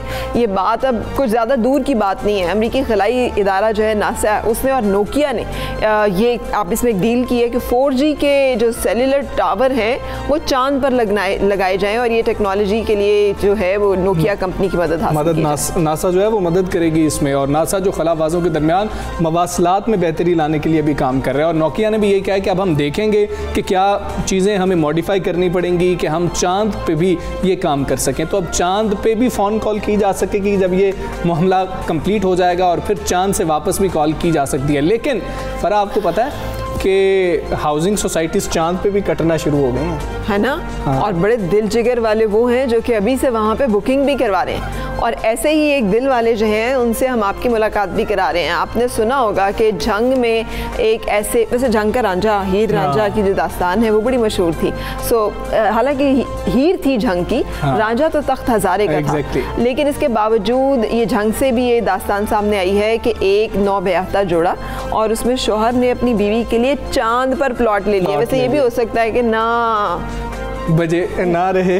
ना बनेगा कुछ हाँ। और मैं सारी ज़िंदगी कहता रहूँगा कि मैंने तुम्हें प्लॉट तो लेके दे दिया। लेकिन उन्होंने लिया है उन्होंने उसकी पेमेंट भी की है। बात ऐसी नहीं है डॉक्टर साहब हैं वो डॉक्टर सुहेब हमारे साथ मौजूद हैं। हमजा ऐसे दिल पे ले रहे हैं जैसे हमजा को मैंने कोई बात कह दी। नहीं मैं सोच रहा हूँ कि मैं डॉक्टर साहब से आज पूछूँगा कैसे और फिर मैं भी जो है ना ज़मीन पे काम थोड़ा कम करना पड़े मेहनत थोड़ी कम करनी पड़े तो चाँद पे लूँ। खैर डॉक्टर साहब हमारे साथ डॉक्टर साहब सुहेब अ, वालेकुम थैंक यू वेरी मच आप हमारे साथ हैं गुड मॉर्निंग वालेकुम अस्सलाम and you are welcome for having us here माशाल्लाह अपनी बेगम का तारुफ भी कराइएगा इनका नाम क्या है? ये मदिया शहर है। ठीक है। अच्छा और माशाल्लाह आप तो छोटे से लग रहे हैं। आप दोनों तो छोटे छोटे से लग रहे हैं। मैं तो हाँ? ये चाँद का ख्याल कैसे आया? इस उम्र में। इसी उम्र में आता है चाँद का एक्चुअली एक दिन आर्ट- हाँ एक दिन ये आर्टिकल पढ़ रही थी कि इस तरह से चाँद पे ज़मीन बाई कर सकते हो, लोग बाई कर रहे हैं। शाहरुख खान, सुशांत सिंह, काफ़ी लोगों ने बाई की है। तो मैंने इनको नोटिस कर लिया कि मैंने कहा, शायद इनको भी ये ल्यूनर लैंड पसंद है। तो मैंने सोचा कि मैं इनको गिफ्ट करूँगा। फिर इंडिया से न्यूज़ आई कि सुशांत सिंह ने अपना एक लैंड बाई की है ल्यूनर लैंड और वो बॉलीवुड के पहले एक्टर है। तो उसके बाद मैंने उनकी, उस कंपनी से रब्ता किया कैलिफ़ोर्निया में। तो उन्होंने बताया कि आप इस तरह से यहाँ से बाय कर सकते हैं और आप भी ऑनलाइन ऑर्डर करें तो आपको ल्यूनर लैंड मिल सकती है। तो मैंने वहाँ से बाय करके और इनको गिफ्ट कर दिया। डॉक्टर साहब, थोड़ी सी कीमत भी बता दें। हो सकता है कि मेरा भी कुछ जेन बन जाए। ये जस्ट 45 डॉलर से स्टार्ट होती है वहाँ डिफरेंट लोकेशन है सोसाइटीज़ हैं और सबकी लोकेशन डिफरेंट होती है तो प्राइसेस डिफरेंट है। 45 डॉलर से 150 डॉलर के दरमियान आपको इजीली मिल जाती है। अच्छा। मिनिमम इज़ वन एकड़ ठीक है चले बेगम साहिबा से भी हम बात कर सकते हैं उनसे पूछ सकते हैं कि कितनी खुशी हुई इन्हें जब आपने इनको कहा कि मैंने तुम्हारे लिए चाँद का एक टुकड़ा खरीद लिया है। मेरे चाँद तुम्हारे लिए चाँद का एक टुकड़ा जो है वो मैं खरीद चुका हूँ। जी बिल्कुल मुझे बहुत ज़्यादा खुशी हुई थी मैंने तो सिर्फ़ विश ही किया था और इन्होंने तो सच में पूरा करके दिखा दिया और स्टार्टिंग में तो मुझे यकीन ही नहीं आ रहा था कि वाकई इन्होंने मेरे लिए चाँद पे प्लॉट ले लिया और सिर्फ़ बातें ही नहीं की बल्कि अब आप। उस पर घर बनाने का मुतालबा कब करने वाली हैं? घर बनाने का मैंने इनको बत, सारा बता दिया है कि मुझे ऐसा ऐसा घर चाहिए और इंशाल्लाह ये कह रहे हैं कि हम इससे भी ज़्यादा अच्छा घर बनाएँगे। ये अच्छा। भी ये भी आप मदीहा हमें बताइएगा कि ये ज़मीन पर भी उतने ही अच्छे शोहर हैं जितना इन्होंने चाँद के लिए मेहनत की कष्ट की और वहाँ पर आपको प्लॉट लेके दिया। इधर भी आपकी जो है तमाम ख्वाहिशात को पूरा करते हैं। जी जी बहुत अच्छे हैं ज़मीन पर। तो अभी तो सिक्स मंथ ही हुए हैं शादी को तो अल्लाह करे ये अ, छः साल तक ऐसे ही नहीं और भी आगे भी ज़्यादा। 600 साल तक अल्लाह करे ऐसे ही रहे। लेकिन आपने बिल्कुल अच्छा किया है कि आपने वो हनीमून पीरियड में ही ना ठीक वाला काम कर लिया कि कम से कम चाँद पे प्लॉट ले लिया। अगले एक दो महीने में कोशिश करें कि ज़मीन पे भी ये लेके दे दे क्योंकि उसके बाद तो इन्होंने कोई बात सुननी नहीं है। क्या ख्याल है आपका डॉक्टर सोहेब साहब? मुझे ज़मीन पर मुझे दो लेकर दिए हुए हैं इन्होंने ज़मीन पर। अच्छा, तो वेरी गुड ये डॉक्टर साहब आप तो छुपे रिस्तम निकले हैं। डॉक्टर साहब डॉक्टरी के साथ मुझे लगता है कि ये जो है ना खरीदो फरोख्त का प्लॉट्स का भी काम करते हैं। एंड डॉक्टर साहब? अब मुझे लग रहा है मुझे ल्यूनर लैंड का काम करना पड़ेगा क्योंकि मुझे रोज़ाना काफ़ी डीएम्स आते हैं लड़कियों के लड़कों के कि हम लोग अपने वाइफ को करना चाह रहे हैं और हाँ, एक लड़की है लाइक मैंने जहेज में लेके जाना है। तो वो रोज़ाना हमें बुकिंग करवानी पड़ती है वहाँ प्लॉट में वाकई में आप ये काम करना शुरू करें एक ग्राहक तो यहाँ भी तैयार बैठा। है। ये हमजा ने तो लेना हाँ? मुझे Yeah, you're मैं बड़ा इंस्पायर हुआ हूँ आपसे और ये मुझे लग रहा है कि ये अभी मदिया सुन रही हैं अगर ना सुन रही होती तो मैं क्लियर कर सकता ये थोड़ा आसान तरीका है मर्द हजरात के लिए अपनी जो है बेगमात को खुश करने के लिए। बाद ये, ये लोग फरमाइश कर देते हैं कि हमें स्पेस में जाना भी है तो उसका अच्छा खासा एक्सपेंस है उसके लिए तैयार होना पड़ता है पहले से। अच्छा तो उसके लिए कोई सेविंग वगैरह कर रहे हैं वाकई आपने सोचा हुआ है कि हम उसकी हम दोनों मिलकर सेविंग कर रहे हैं और हम 2025 में एप्लीकेशन भी देंगे नासा को बिकॉज़ 2024 तक वो लोग बुक होली तो 2025 में एप्लीकेशन देंगे स्पेस में जाने आई एम डॉक्टर साहब, आप कितने कनेक्टेड हैं। आपने वो कंपनी भी ढूंढ ली जो चाँद पे ज़मीन जो है वो बेचती है। आपने नासा से भी पता कर लिया कि 2024 तक वो बुक्ड हैं। तो ये सारी इन्फॉर्मेशन जो है, ये बड़े आप कनेक्टेड हैं बड़े इन्फॉर्म्ड हैं चीज़ों के बारे में? बिल्कुल और अभी ये कह रही थी कि हम वहाँ से बात कैसे करेंगे तो हमें कल ही पता चला कि नोकिया ने नासा से कॉन्ट्रैक्ट जीता है फोर जी प्रोवाइड करने का मून पे। हाँ। तो हम लोग वहाँ से वीडियो कॉल भी कर लेंगे। मुझे लगता है नासा ने अगला जो मुआदा है वो डॉक्टर साहब के साथ ही करना है कि डॉक्टर साहब आप बेहतरीन जा रहे हैं आपको बड़ी इन्फॉर्मेशन है पाकिस्तान में शायद और किसी को इत, इतनी इन्फॉर्मेशन नहीं है। तो डॉक्टर साहब आप फिर नासा के अगर आपको ऑफ़र करें तो नासा के प्रॉपर्टी एजेंट बनने के लिए आप तैयार होंगे? जी बिल्कुल हम उनके स्पेस प्रॉपर्टी एजेंट बनने के लिए तैयार हैं। अच्छा माशाल्लाह अल्लाह ताला नज़र बस से महफूज रखे आप दोनों को खुश खुरम रखे घर ज़मीन पे बनाएँ कि चाँद पे बनाएँ घर प्यार मोहब्बत से बनता है ना? तो वो हुस्न सलूक जो अल्लाह ताला आप दोनों के दरमियान रखे। लड़ते झगड़ते भी हैं कि वो आ, मतलब कि ये मेरा है ये तेरा है वो तो मैंने लेके दिया है बिल्कुल हम हम लोग नहीं लड़ते हम दोनों के म्यूचुअल फंड्स होते हैं और हम दोनों को म्यूचुअली खर्च करते हैं हर चीज़ में। अच्छा म्यूचुअल फंड्स आप तो काम करते होंगे तो आप तो उसमें डाल देते हैं। तो बेगम साहिबा का मदिया का म्यूचुअल फंड जो है वो किधर से आता है? मदिया सर ये फ्रीलांसिंग करती हैं मैं भी करता हूँ दो हम दोनों एक दूसरे से हेल्प करते हैं। चलें फ्यूचर प्लान्स क्या हैं आपके डॉक्टर साहब? क्या अब चाँद पे जाके नई दुनिया ही बसाने के प्लान्स हैं या फिर ज़मीन के कोई और प्लान्स हैं? मदिया का तो प्लान है कि उन्होंने नया पाकिस्तान बनाना चाँद पे जाके। अच्छा अच्छा मुझे सुहेब ये भी बताइएगा डॉक्टर साहब कि अम्मी ने तो कुछ नहीं कहा। मतलब अक्सर जब नो मैंने को भी नहीं बताया था कि मैं बाय कर रहा हूँ। उसके बाद जब मैंने घर में वैसे ही बात की कि मैंने चाँद पे ज़मीन ले ली है तो सब लोग मज़ाक उड़ा रहे थे कि तुम्हारे पैसे डूब जाएँगे। लेकिन जब मुझे फाइनली उसकी सब कुछ रजिस्ट्रेशन और सब कुछ डॉक्यूमेंट्स मिल गए सब लोग बहुत खुश हुए और मम्मा ने हमें बहुत दुआएँ दी और बहुत खुश हुई। मम्मा भी पापा भी। अच्छा अच्छा अच्छा अच्छा. डॉक्टर साहब ये भी मैंने पढ़ा था कि खरीदो फरोख्त की जा सकती है। आपने जैसे यहाँ पर फ़ाइल खरीदते हैं वैसे वहाँ पर प्लॉट खरीद के आप उसको दोबारा फरोख्त भी कर सकते हैं ये बाकायदा को बिज़नेस बनने जा रहा है। जी जी ये जब वहाँ पे एक न्यू सोसाइटी कटती है चाँद पे तो उसकी प्राइसेस कम होती है पिछले वाले की ज़्यादा हो जाती है तो आप वो पिछले वाला अपना प्लॉट सेल कर सकते हो उसी कंपनी में अच्छा डॉक्टर साहब आपने वो गौर किया कि चाँद पे तो हवा वगैरह भी नहीं है? तो को इस बारे में भी कोई प्लानिंग कभी बैठ के की है कि वो मामला कैसे होंगे या ये हम्म? जी इंटरनेशनल ल्यूनर लैंड रजिस्ट्री है जो वो सब कुछ ये क्लेम करती है कि वहीं के कुछ lunar land resources natural resources use करके तो वहाँ पे सम हाउ किसी तरह से कुछ देर के लाइफ को पॉसिबल बनाएँगे। वो वो जो सोसाइटी है वो ये क्लेम करती है। अच्छा। तो हम इंशाल्लाह कुछ ना कुछ होगा वहाँ very good you are very inspirational अच्छा वेरी गुड कि आप झंग में बैठकर नासा और चाँद के बारे में भी मुकम्मल जो है वो इल्म रखते हैं। ये एक बड़ी कमाल बात है। बिल्कुल। मदीहा, आप हमें ये बताएँ कि आपको कभी शिकायत हुई है कि डॉक्टर साहब से कि डॉक्टर साहब, आपने ये नहीं किया या आपको ये करना चाहिए था? कभी ऐसा हुआ हो? चले, पहले डॉक्टर साहब ने तो कह दिया लड़ाई नहीं हुई। आप अंदर की बात बता दें, क्या कभी लड़ाई हुई? डॉक्टर साहब नहीं सुन रहे, आप ये समझे। नहीं फ़िलहाल तो हमारी कोई लड़ाई नहीं हुई। अगर चाँद ना लेके देते तो फिर शायद हो जाए लेकिन इन्होंने आगे ऑप्शन ही नहीं छोड़ा। ये मुझे यही कहते हैं कि देखो मैंने कितना यूनिक गिफ्ट दिया है। कोई देता है कोई तो मैंने कहा तो सहेलियों में आपको कितना अच्छा फील होता है? सहेलियों को बताते हुए और जब सहेलियाँ पूछती हैं।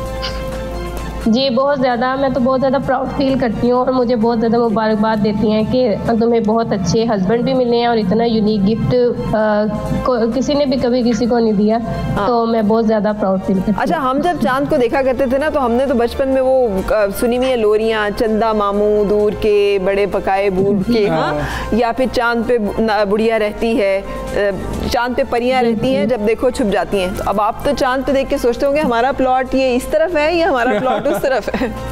जी, शाम वो अच्छा अच्छा लगता वो चलता मामू दूर के नहीं रहे वो हमारे घर के हो गए तो बहुत अच्छे। आप दोनों खुश रहें और जो आपने कहा कि फ़िलहाल हमारी लड़ाई नहीं हुई कभी भी लड़ाई ना हो और बड़ा हमें अच्छा लगा कि आप लोगों से बात की। डॉक्टर साहब बहुत शुक्रिया मदीहा बहुत शुक्रिया। फराज देखें दिल वाले। दिल वाले। और कितने वो अपडेटेड थे कि भाई ये ऐसे भी होता है ऊपर रही दिल वाले चाँद ले जाएँगे। जितनी तेज़ी के साथ जो है वो और जितने मोटिवेशन उनके अंदर। ये जो जब जब जब तक इंसान के अंदर ये मोटिवेशन रहती है ना वो चाँद को तस्खीर भी कर सकता है चाँद पे प्लॉट भी ले सकता है। हमें लग रहा था चंबे की बात की ये कैसे हो सकता है? ये हो भी सकता है। लेकिन उनके अंदर चूँकि जज्बा है तो उन्हें लगता है कि ये तो मुमकिन है तो हो मुझे जाए मुझे पता क्या लग रहा है? अब ये रिक्शों के पीछे जो वैन्स होती हैं उनके पीछे वैसे ये बैनर्स लगे होंगे कि चाँद पर प्लॉट खरीदिए और बुकिंग सिर्फ़ पाँच हज़ार से। ये तो मुझे याद ही नहीं रहा कि मैं उनसे पूछती कि कनाल का प्लॉट है कि दस मरले का है कि आठ मरले का है?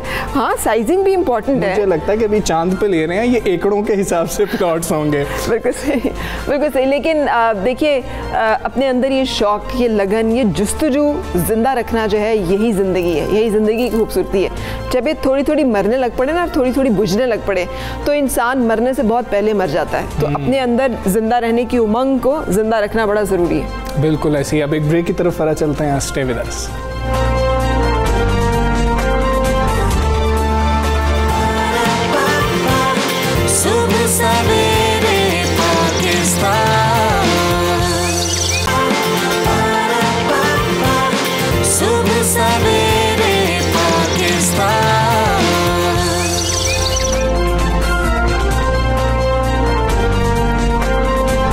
welcome back Subah Savere Pakistan आप देख रहे हैं और हमजा ने मुझे याद कराया कि सबसे पहले टॉप स्टोरीज पीटीआई हुकूमत के शानदार सेहत सहूलत प्रोग्राम को झटका वफाकी हुकूमत ने सेहत कार्ड्स के फंड्स जारी करने बंद कर दिए। अस्पतालों ने मुफ़्त इलाज करने से माजरत कर ली। मुस्तक मरीजों की मुश्किल बढ़ गईं। और आज उमर गुल बने सुबह सवेरे के मेहमान। ये क्या हुआ हमजा?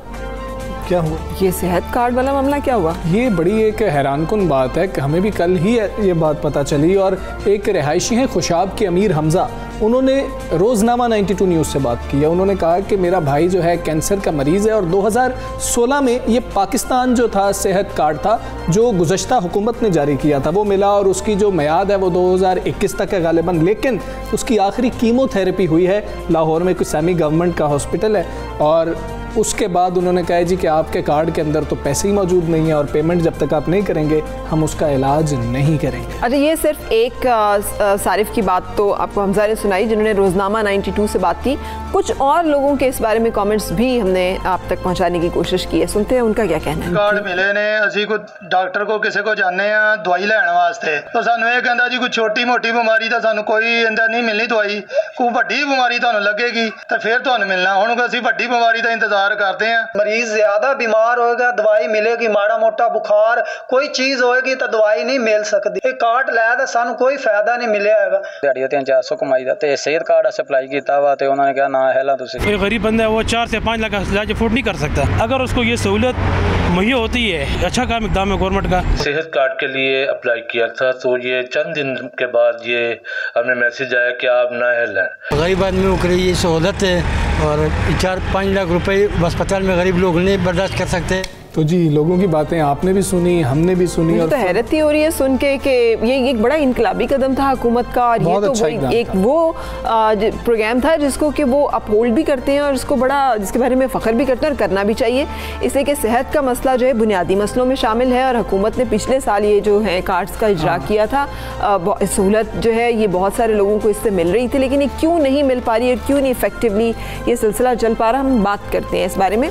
और पंजाब सूबाई हाँ सूबाई वज़ीर सेहत पंजाब हमारे साथ हैं डॉक्टर यास्मीन राशिद साहिबा। अस्सलाम वालेकुम अ, डॉक्टर यास्मीन राशिद साहिबा शुक्रिया सुबह सवेरे पाकिस्तान में हमें ज्वाइन करने के लिए।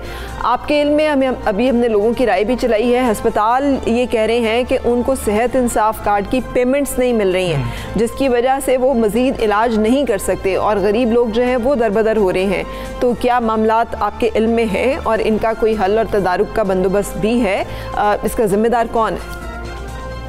जहाँ तक सेहत इंसाफ कार्ड का ताल्लुक है, ये स्टेट लाइफ इंश्योरेंस कंपनी जो है, उसने पेमेंट करनी होती है। और अगर कोई किसी अस्पताल को उसकी पेमेंट नहीं मिल रही तो शिकायत का तरीका है, उनको अपनी शिकायत जो है, वो अरसाल करनी चाहिए। और हम भी इसके अंदर देख लेंगे, आप कंप्लेंट जो है, वो दर्ज करनी बहुत ज़रूरी है कि अगर आपको, आपका टाइम से आपकी पेमेंट नहीं हो रही। बाकी जहाँ तक इंस्ट्रक्शंस देने का ताल्लुक है, मैं इंश्योर करूँगी कि स्टेट लाइफ इंश्योरेंस क्योंकि देखें कई दफ़ा रुकावटें इस वजह से भी होती हैं कि बिल सही नहीं बना हुआ होता या ओवर बिलिंग हुई भी होती है। इन सारी चीज़ों को स्टेट लाइफ इंश्योरेंस को देखना पड़ता है। तो बहुत अहम है कि सारे अस्पताल जो इस वक्त इंश्योरेंस के साथ डील कर रहे हैं वो अपनी बिलिंग का तरीका सही इख्तियार करें। ठीक है डॉक्टर साहब आपने ओवर बिलिंग की बात की है तो ये शफाफियत के इश्यूज़ भी सामने आ रहे हैं कि अस्पताल मिली भगत करते हैं जाली मरीज़ होते हैं उनसे इस पर जो है पेमेंट करवाई जाती है और फिर जब पेमेंट हो जाती है उनको इंश्योरेंस कंपनी की तरफ़ से तो वो आपस में बांट लेते हैं आधे आधे पैसे कर लेते हैं। तो इस शफाफियत के लिए क्या किया जा रहा है? जो अहम बात है कि वो मरीज़ जिसका उसका आईडी कार्ड के पर उसका वो इशू हुआ था उस मरीज़ के अलावा और उसके अपने घर के जो फ़र्द हैं यानी उसकी जो बे फॉर्म है, उसके ऊपर जो फ़र्द उस पर डिपेंडेंट हैं, उन सब का इलाज उस कार्ड के थ्रू किया जाता है। इसलिए इसमें बहुत कम चांसेस हैं कि कोई जाली तरीके से कोई इलाज करे, करवाए और सबसे बड़ी बात है, इसकी पेमेंट जहाँ तक ताल है, वो अस्पताल बिल देता है और ये payment directly State Life Insurance जो है, वो अस्पतालों डॉक्टर साहब, आपके इल्म में ही है सस्टेनेबल डेवलपमेंट गोल्स में से एक चीज़ जो है, वो सेहत के बारे में भी है, जहाँ पर हम बहुत लैक करते हैं और वहाँ पर हमारा नंबर जो है बहुत ख़राब है। यानी पाकिस्तान में डब्ल्यू एच ओ के जो स्टैंडर्ड्स है उसके मुताबिक कम अज़ कम एक हज़ार लोगों के ऊपर जो है वो एक डॉक्टर होना चाहिए कम अज़ कम और पाकिस्तान उससे बहुत नीचे है। तेरह सौ अफराद के लिए भी एक डॉक्टर मुश्किल से मैसर है। आप बताइएगा इस सूरत हाल को बेहतर करने के लिए क्या किया जा रहा है? ये सिर्फ़ फैसलाबाद कराची लाहौर बड़े शहरों की बात थोड़ी हो रही है। पंजाब तो बड़ी आबादी का जो है वो सूबा है। दूर दराज इलाके हैं। छोटे जो है वो गाँव देहात तक ये सेहत की सहूलियात मुहैया करने के लिए क्या सोचा जा रहा है? मेरा ख्याल है इस वक्त तो जितनी बड़ी बहुत इकदाम हमने उठाए हैं, सबसे पहले आपने एक अच्छी बात पे निशानदही की कि डॉक्टर्स डॉक्टर्स कम, नर्सेस कम थी। हमारे आने के बाद हमने तकरीबन बत्तीस हज़ार डॉक्टर्स नर्सेज और पैरामेडिक्स रखे। मकसद ही उन सबको रखने का ये था कि ज़्यादा से ज़्यादा डॉक्टर्स मौजूद हों फ़ील्ड के अंदर ताकि मरीज़ों को सेहत की सहूलत मिल सके। जहाँ तक डॉक्टर्स का बनने का ताल्लुक है हर साल कोई तकरीबन तीन हज़ार से ज़्यादा जो हैं वो पंजाब के अंदर सिर्फ़ बन रहे हैं।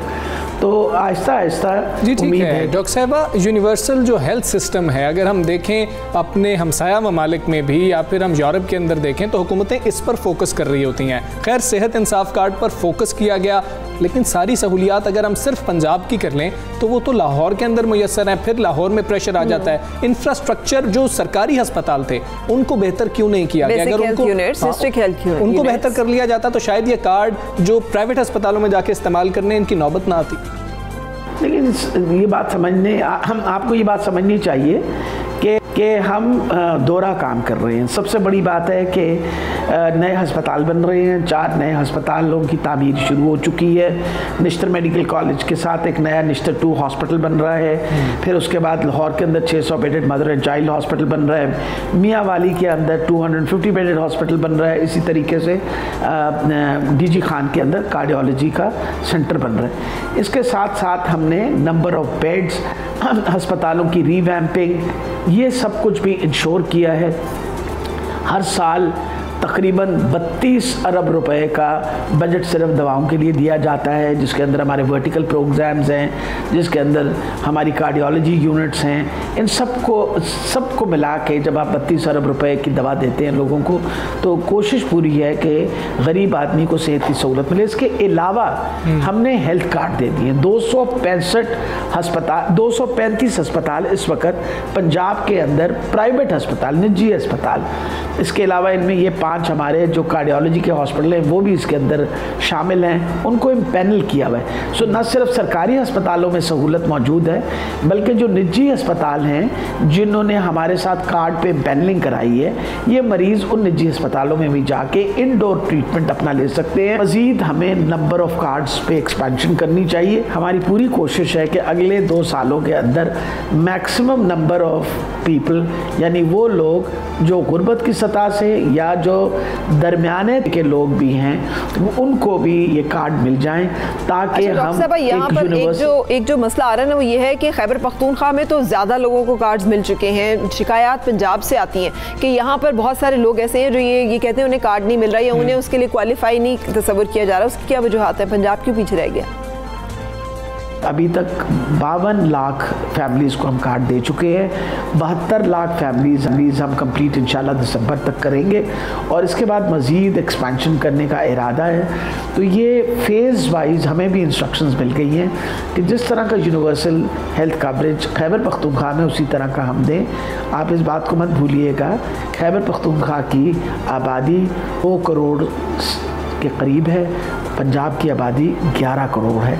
तो कुछ वक्त लगेगा लेकिन इन हुकूमत की पूरी कोशिश है कि सेहत डॉक्टर यासमिन राशि साहब हमारे साथ मौजूद थी आपका बहुत शुक्रिया।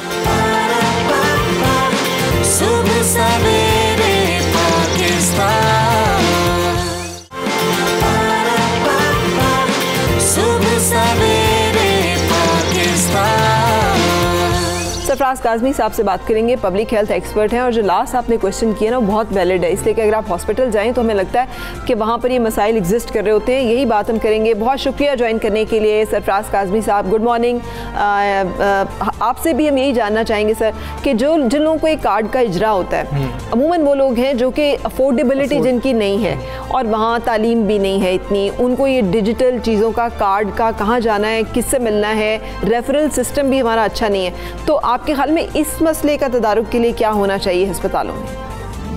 बहुत शुक्रिया। एक तो ये कि इसका एक नंबर है उसके ऊपर आप जो है मैसेज करते हैं एट फाइव डबल ज़ीरो के ऊपर और वो फ़ौर अपना आईडी कार्ड वो फ़ौर आपको बता देता है कि are you eligible for this card और नॉट ठीक है? उसको शायद उन्होंने लिंक किया हुआ है बे जो बेनज़ीर इनकम सपोर्ट प्रोग्राम है उसके साथ। ठीक है। इसमें कुछ गैप्स हैं जो मैं समझता हूँ एक तो सात लाख बीस हज़ार रुपये तक का इसके अंदर जो है सर्विस विस ले सकता है कोई भी क्लाइंट कार्ड जैसे उसको इशू हो जाता है। दूसरा जो प्रॉब्लम आता है यहाँ पे कि बहुत सारे हॉस्पिटल वो रजिस्टर हैं जिनके पास वो स्पेशलिटी नहीं है जिसकी वो क्लेम कर रहे हैं। पंजाब के अंदर बाकी प्रोविंसेस के अंदर भी हेल्थ केयर कमीशन जो है वो स्टैब्लिश हो चुके हुए हैं और वो हर स्पेशलिटी को अलग अलग रजिस्टर करते हैं हर हेल्थ केयर स्टैब्लिशमेंट की। तो एक तो हेल्थ केयर कमीशन का इसके अंदर बहुत इंपॉर्टेंट रोल है कि उस हॉस्पिटल में वो जो क्लेम कर रहा है उससे रेलेवेंट स्टाफ भी हो और वो स्पेशलिटी से मुतलिक तमाम खदमात और टूल्स भी अवेलेबल हो पहली बात। दूसरी बात जो मैं करना चाहूँगा इसके अंदर वो ये कि इसमें ओपीडी नहीं है। आपका बहुत क्लाइंट जो है वो वो है जो नज़ला ज़ुकाम खांसी के लिए हॉस्पिटल में गया। ये सिर्फ़ इसमें हॉस्पिटलाइजेशन है कि आप जाइए किसी बीमारी के साथ। अगर आप एडमिट हो जाते हैं तो फिर आपको जो सर्विसेज़ हैं, वो मिलेंगी। ओपीडी की कोई सर्विसेज़ नहीं है। ये एक सबसे बड़ा गैप है। तीसरा, अभी झगड़ा साहब कह रहे थे कि हम इसके ऊपर बहुत मैसिव कंपेन करने जा रहे हैं उसकी अवेयरनेस के हवाले से। तो इसमें अभी टाइगर फोर्स को भी को डालने की कोशिश कर रहे हैं, लेकिन सवाल ये है कि जो वॉल्टियरिज्म है पर्टिकुलरली फॉर हेल्थ ये एक दुनिया के अंदर बहुत बहुत बहुत बड़ा सेगमेंट है और इसके अंदर उसके बहुत सारे टूल्स इस्तेमाल होते हैं कि आप वॉल्टियर करेंगे अगर यूथ को मोबिलाइज करना चाहते हैं तो आपके पास उनको देने के लिए इंसेंटिव क्या है? बगैर इंसेंटिव के मैं नहीं समझता कि आप यूथ को मोबिलाइज कर सकते हैं। तो ये दो तीन गैप्स हैं। नंबर वन कि वो हॉस्पिटल जो उन्होंने इनरोल किए उनके पास वो स्पेशलिटीज नहीं है। नंबर टू सिर्फ़ हॉस्पिटलाइजेशन है इसके अंदर। ओपीडी बिल्कुल नहीं है। बिल्कुल ठीक। तो वो जो सेटिस्फेक्शन का लेवल है मरीजों का वो नहीं मुझे समझ आ रहा कि वो कैसे सेटिस्फाई हैं जबकि उनको ओपीडी में वो सर्विस ही। नहीं मिली। काजमी साहब एक तनकीद होती है इस मंसूबे के ऊपर और वो तनकीद यही होती है कि इस तरह तो प्राइवेट जो अस्पताल हैं उनमें ही मरीज़ जाया करेंगे। क्या हमें सरकारी अस्पतालों को बेहतर नहीं करना चाहिए था ताकि लोग वहाँ पर जाते और सरकारी अस्पताल बेहतर होते? क्या हमारी तवज्जो कम हो जाएगी सरकारी अस्पतालों की तरफ़ अगर यही मंसूबा आएगा कार्ड लेके हमने प्राइवेट अस्पताल जाना? बहुत अच्छा सवाल है। इस वक्त जो पाकिस्तान के अंदर सिचुएशन है अभी भी तो 65 टू 70 परसेंट जो मरीज़ है वो प्राइवेट हॉस्पिटल्स में जाता है सिर्फ़ 30 परसेंट गवर्नमेंट के हॉस्पिटल्स में जाता है। ठीक है? अच्छा अभी भी आप किसी भी हॉस्पिटल में चले जाएँ जो ओ हैं वो आपको पैक मिलेगी वहाँ पे आपको जगह नहीं मिलेगी खड़े होने की। मतलब एक एक जो ओपीडी के अंदर डॉक्टर बैठा हुआ है सौ सौ डेढ़ सौ जो है उनको मरीज़ को वो जो है देख रहा है। ठीक है? तो ये वो मरीज़ है जो कि मार्जलाइज्ड है पुअर है प्राइवेट में अफोर्ड नहीं कर पाता। हम्म। और जब तक ये सेहत इंसाफ कार्ड के अंदर ओपीडी नहीं डालेंगे तो ये ओवर क्राउडेड रहेंगे गवर्नमेंट के हॉस्पिटल्स तो इसके अंदर ओपीडी को भी इनको डालने की ज़रूरत है कि वो क्लाइंट जिस नज़ला ज़ुकाम खांसी का है जिसको दवाई लेके वापस घर आ जाना है सेम डे के अंदर वो भी इसके अंदर ट्रीट करने की ज़रूरत है। अगर गवर्नमेंट हॉस्पिटल्स का ये रश कम करना चाह रहे हैं। ठीक है। अच्छा सेहत कार्ड के हवाले से भी और इससे अलग भी थोड़ा सा। डॉक्टर साहब पूरी दुनिया में टेली मेडिसिन का कॉन्सेप्ट जो है बड़ा फ्लरिश कर रहा है। खासतौर पे कोविड जैसी जो सिचुएशन है कि डॉक्टर अगर इस अस्पताल में मौजूद है लाहौर में वो यहाँ बैठ कर भी आ, किसी भी सदर्न सदर्न पंजाब के जो गाँव कस्बे में एक मोबाइल यूनिट के ज़रिए मरीज़ों को देख भी सकता है। उस मोबाइल यूनिट के पास अद्वियात हों जो कि फौरी तौर पर वहाँ मुहैया भी की जा सकती हैं। पूरी दुनिया में ये काम इस तरह से हो भी रहा है।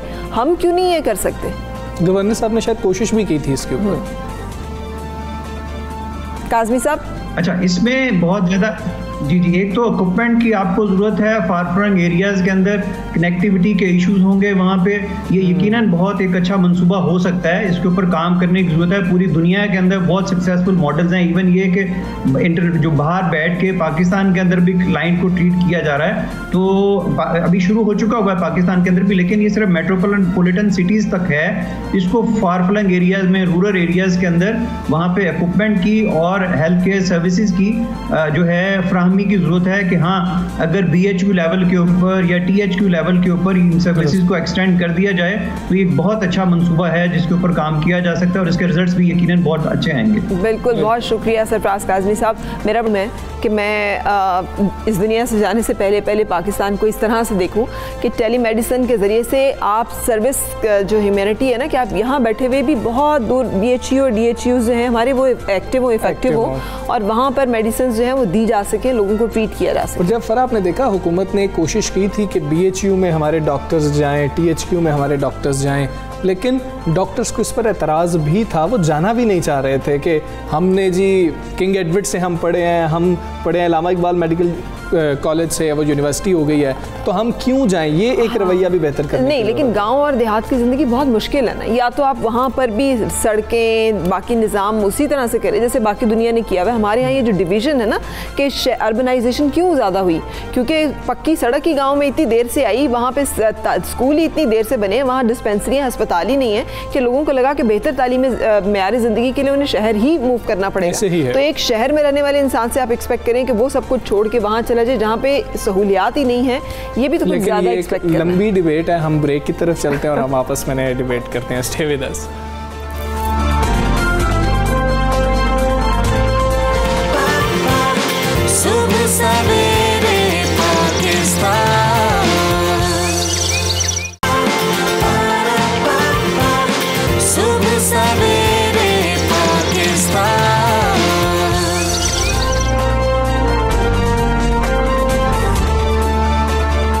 खुश आमदीद आज एक बहुत अहम मसले को जानने का दिन है, उसकी आगाही का दिन है, क्योंकि आज पूरी दुनिया में हड्डियों की बीमारी, जिसे ऑस्टियोप्रोसिस प्रोसेस कहते हैं, उसका आलमी दिन मनाया जा रहा है। ऑस्टियोप्रोसिस यानी हड्डियों का भुरभरापन, एक ऐसी बीमारी है जिसमें हड्डियाँ खोखली हो जाती हैं, अंदर से कमज़ोर हो जाती हैं, जिसकी वजह से उनके टूटने का ख़तरा बहुत बढ़ जाता है। और हमजा अफसोसनाक बात यह है कि मर्दों की नस्बत ख़वान में इसका तनासब बहुत ज़्यादा है। अच्छा फरा मैंने वो पढ़ रहा था तो ये था कि हड्डियाँ मुड़ना शुरू हो जाती हैं अंदर मतलब वजह से टूट जाती हैं। टूट भी सकती हैं और मुड़ना भी शुरू हो जाती है क्योंकि हड्डियों के जैसे अभी अभी आप देख रहे हैं हड्डियों का स्ट्रक्चर जो कि दिखाया जा रहा है ये अंदर से खोखली होनी शुरू हो जाती हैं और ख़वान में तो इसकी मतलब 40 साल की उम्र के बाद समा कोई ऐसा प्रोसेस होता है कि हड्डियों में से कैल्शियम निकलना शुरू हो जाता है। सो बहुत ज़रूरी है कि हम इसके बारे में अवेयर रहें और अपनी एहतियात से काम लें, खाने पीने में ख्याल रखें कि कैल्शियम का और वाइटामिन डी जो कि हमारे यहाँ बहुत कमी है इसकी वैसे तो सारी पॉपुलेशन में लेकिन खातन में खास तौर पे। और फरा ये भी कहा जाता है कि ये दूसरे नंबर पर है। सबसे ज़्यादा दिल के अमराज में लोग मुबतला होते हैं और दूसरी वजह ये है हड्डियों में जो मसला आ जाता है और वो टूट जाती हैं ये वाला मसला दूसरे नंबर पर आता है। हम्म, और इससे अंदाज़ा लगा लें कि कितना अहम और कितना बड़ा मसला है।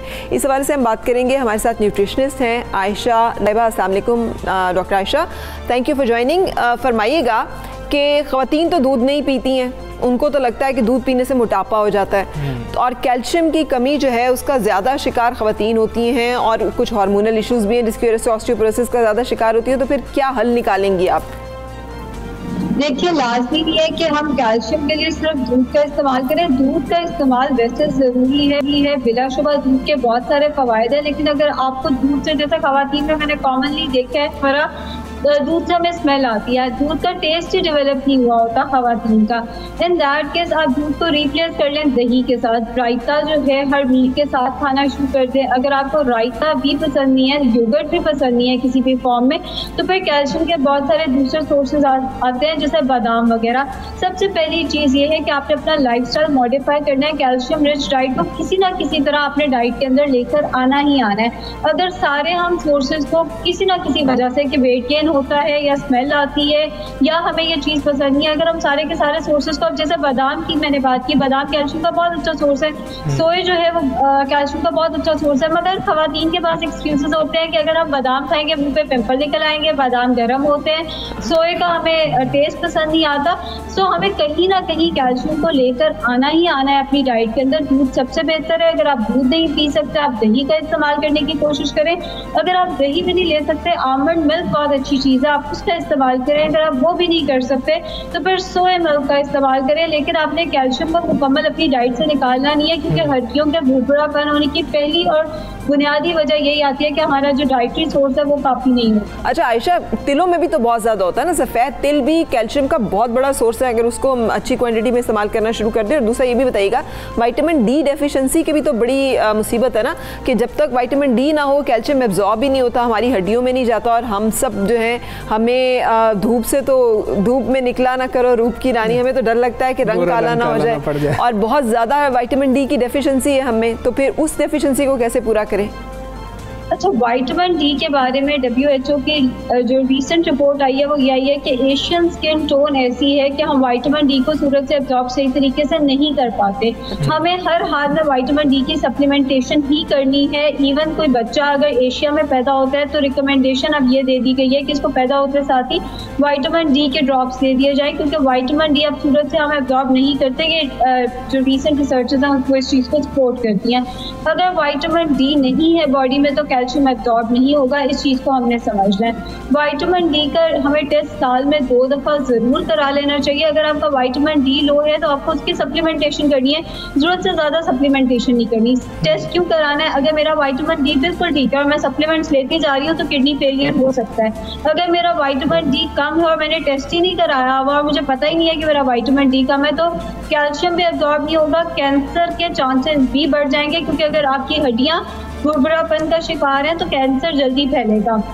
कैंसर के चांसेस भी बढ़ जाएँगे वाइटामिन डी की डेफिशिएंसी डिप्रेशन कॉज करती है जो कि मजीद बहुत सारी बीमारियाँ लेकर आ सकता है। सो बिलाशुबा वाइटामिन डी जो है वो बहुत ज़्यादा इंपॉर्टेंट है। आपने तिल की बात की सफ़ेद तिल चिया सीड्स दुख में दाउदी जो है वो भी वाइट कैल्शियम का बहुत अच्छा सोर्स है। कैल्शियम के इस्तेमाल के लिए आप तुक में दाउदी यानी चिया सीड्स जो कि अब बहुत ज़्यादा कॉमन होता जा रहा है। पहले हम सिर्फ़ तुक मलंगा यानी बेजल सीड्स का इस्तेमाल करते थे। हमें पता ही तुक मलंगा का होता था। बट पाँच पिछले पाँच सालों में चिया सीड्स का इस्तेमाल भी बढ़ा और वो भी कैल्शियम का बहुत अच्छा सोर्स है। ठीक है डॉक्टर आयशा ये भी समझा जाता है कि ये सिर्फ़ बुज़ुर्गों में और जो बूढ़े होते हैं उनको ये मसाइल का सामना करना पड़ता है। बच्चों और नौजवानों में भी क्या ये मसला होता है? और फिर यही आमतौर पे कहा जाता है तुम दूध नहीं ना पीते तुम्हें बाद में जाके पता चलेगा जब बूढ़े होगे तब पता चलेगा।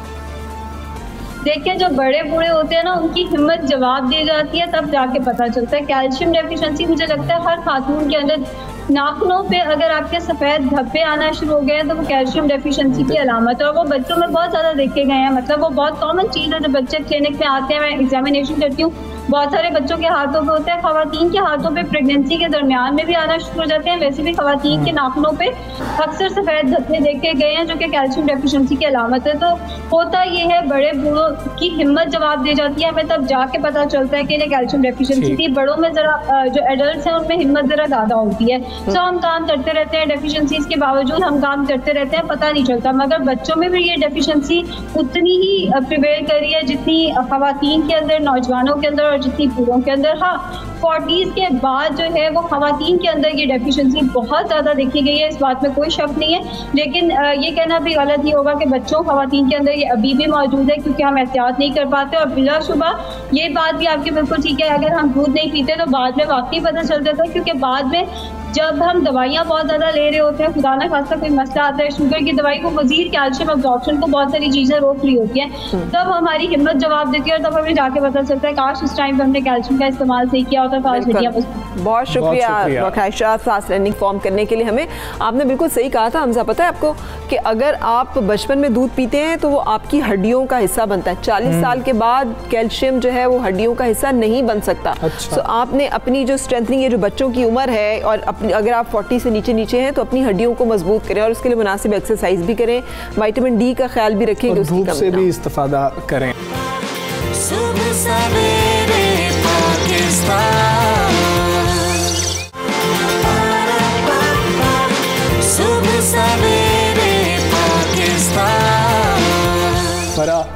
बहुत ही दिल को छू लेने वाली चीज़ है। पाकिस्तानी ना बड़े अफसरदा भी हुए थे जिस वक्त ये ऐलान हुआ था। उमर गुल ने ऐलान कर दिया था कि जी कि अब मैं मैं हर तरह की क्रिकेट नहीं खेलूँगा। फरा, ये था मामला उस वक्त कि जब कोई नहीं था ना उस वक्त उमर गुल वहाँ पर मौजूद थे पाकिस्तान के पास फास्ट बॉलर नहीं थे तो उमर गुल तीनों फॉर्मेट्स में पाकिस्तान को लीड कर रहे थे ये उमर गुल से गुलडोजर जो है हाँ। ये पाकिस्तान का वो जिसे कहना चाहिए ना चेहरा था पाकिस्तान की वो पहचान थी कि हमें पता था कि ये मिरेकल्स जो हैं ये कर सकते हैं he was a wonderful wonderful player ये जो मोमेंट अभी हमने देखा था ना इसमें मेरी आँखों में भी आँसू आ गए थे जब मैंने ये देखा था इसलिए हाँ। एक स्टार एक हीरो। लेजेंड जो हैं उनका ये आखिरी मैच यकीनी तौर पर बहुत सारे लोगों को बहुत अरसे तक याद रहेगा। और हम आपकी मुलाकात कराएँगे गुलडोज़र से। उल हमारे साथ मौजूद हैं। उमर गुल, अस्सलाम वालेकुम उमर, कैसे हैं आप? खैरियत से हैं? और ये भी उमर गुल, हम यही कहना चाहेंगे कि जो आपने पाकिस्तान क्रिकेट के लिए किया है, वो बहुत कम लोगों ने किया। आप अकेले होते थे और इंतज़ार होता था कि अब उमर गुल ने ही विकेट लेनी है। वालेकुम अस्सलाम ऑल गुड अल्हम्दुलिल्लाह। बस ये तो तमाम फैंस आप लोगों की दुआएँ कि अल्लाह ने इतनी इज़्ज़त दी इतने परफॉर्मेंस दिए। एक ये है कि पाकिस्तान ने एक नाम दिया पहचान दिया तो मैंने भी हमेशा थ्रू आउट माई करियर मैंने कोशिश की कि अपना हंड्रेड टेन परसेंट दे, दे, दे सकूँ। ट्राई किए बाकी अल्लाह ने इज़्ज़त दी और आप लोगों की दुआएँ दी। बिल्कुल आपने 110 परसेंट दिया है।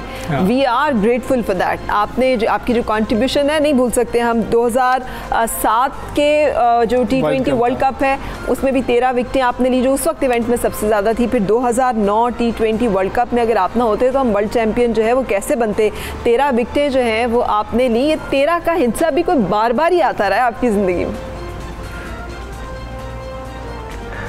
नहीं, देखिए सिंगल हैंडेड तो आप नहीं कह सकते। ये एक टीम एफर्ट थी। आप टीम के बगैर कुछ भी नहीं कर सकते। लेकिन हाँ ऑब्वियसली कंट्रीब्यूशन थी मैंने उसमें कोशिश की कि अच्छा से अच्छा फिनिश कर सकूँ। क्योंकि 2007 वर्ल्ड कप जो फाइनल था, मुझे अभी भी याद है। हम कि अनफॉर्चुनेटली वो हम फिनिश ना कर सके। फाइनल तक पहुँचे पहुँचे और आखिरी मैच में फिर हम हार गए। लेकिन फिर दो 2009 में जो जो जो गलती हमने 2007 में की थी वो हमने रिपीट नहीं की और 2009 का जो वर्ल्ड कप था हमने हर वो, वो कोशिश की कि वो जो हमारे हमसे जो पास में गलती है वो वो ना करे। और प्लस अभी मुझे अ, वो भी याद है कि जो हालात थे पाकिस्तान के 2009 में काफ़ी ख़राब थे। बस हमारी यही कोशिश थी कि यार अ, सिर्फ़ कोशिश यही करना हम हमारा एक मिशन था कि इन जिस तरह के हालात पाकिस्तान में चल रहे तो हमने जो ना लोगों की फेसिस पे वापस वो खुशियाँ लेके आने वो मुस्कुराहटें लेके आनी थी। एक मिशन ये था दूसरा मिशन वर्ल्ड कप था क्योंकि 92 के बाद हम कोई इतना कोई मेजर इवेंट जो आईसीसी का कोई मेजर इवेंट था वो हम नहीं जीते थे। तो बस ये ये दो चीज़ें हमारे माइंड में थी और अल्लाह ने हम हमारी मदद की और हम एक दूसरे के साथ जेल हो कि जिस तरह हमने throughout the world cup हम खेले तो मेरे ख्याल से सारे प्लेयर्स को क्रेडिट जाता है उसका। जी ठीक है। उमर आपका जो अपना फेवरेट एक स्पेल है या विकेट है वो कौन सी थी? मैं अपनी बता देता हूँ कि जो आपने ब्रेन लारा को सिफर पर आउट किया था ना डक पर। मुझे तो सबसे अच्छी विकेट वो लगती है आपने उनको बोल्ड किया था। आपको सबसे अच्छी कौन सी लगती है? नहीं बिल्कुल आपने सही पिन पॉइंट किया वो ब्रायन लारा का जो जो विकेट था मेरा फेवरेट विकेट है क्योंकि फेवरेट बैट्समैन भी है ऑल टाइम फेवरेट बैट्समैनों में से है ब्रायन लारा और पहले हम देखते थे जब हम छोटे थे जब हमने उनके सामने आए तो हमारी मेरी भी ख्वाहिश थी कि यार ब्रायन लारा को आउट कर सकूँ। तो बड़ा लकी रहा पहली टेस्ट मैच में वो सामने आए मैंने उनको ज़ीरो पे बोल्ड किया जो कि one of the favourite wicket आप कह सकते हैं। हम्म, अच्छा अब, मैंने जैसे पहले सवाल किया था आपसे आपको नहीं लगता कि कुछ डिजिट्स हैं वो आपकी ज़िंदगी में आपके करियर में बार बार आते रहे उमर गुल? जिसमें एक तो तेरह विकटें हैं 2007 में आपने पूरे इवेंट में तेरह विकेट्स ली थी और फिर 2009 का जो वर्ल्ड कप है उसमें भी तेरह विकेट्स ली थी तो तेरह तेरह जो है वो रिपीट हुआ।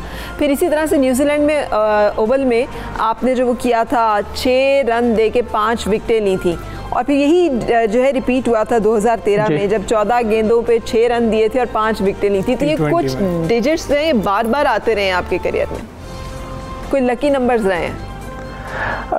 खैर ये तो ये तो बाई चांस है और आई डोंट नो कि ये क्यों हुआ है लेकिन मैं आपको एक एक और चीज़ भी बताऊँ जब मैं फ़र्स्ट टाइम आईपीएल खेला था मैं सात मैच खेला हूँ और वहाँ पे भी मैंने तेरह आउट किए थे सात मैचेस में। हम्म। और फिर मैं जब बिग बैश खेला हूँ तो वहाँ पे भी मैंने तेरह आउट किए थे बिग बैश लीग में। तो आई डोंट नो कि ये क्यों आ रहा है लेकिन कुछ कुछ कुछ तो है अल्लाह की तरफ़ से कोई कोई मुआजा है इसमें। अच्छा उमर ये बताएँ कि आपने बहुत सारे कप्तानों के अंडर जो है बॉलिंग की है आप टीम का हिस्सा रहे हैं उनके साथ ड्रेसिंग रूम आप शेयर करते रहे हैं। जो आपने वर्ल्ड कप जीता यूनस खान थे यूनस खान खासे अग्रेसिव कप्तान लगते थे। सबसे गुस्से वाला कप्तान कौन था जिसके अंडर आप खेले हैं? देखिए कप्तानी जिनके अंडर में खेला हूँ तो मुझे ज़्यादातर यूनस भाई की कप्तानी में मज़ा आया और प्लस शाहिद भाई के साथ भी बड़ा मज़ा आया।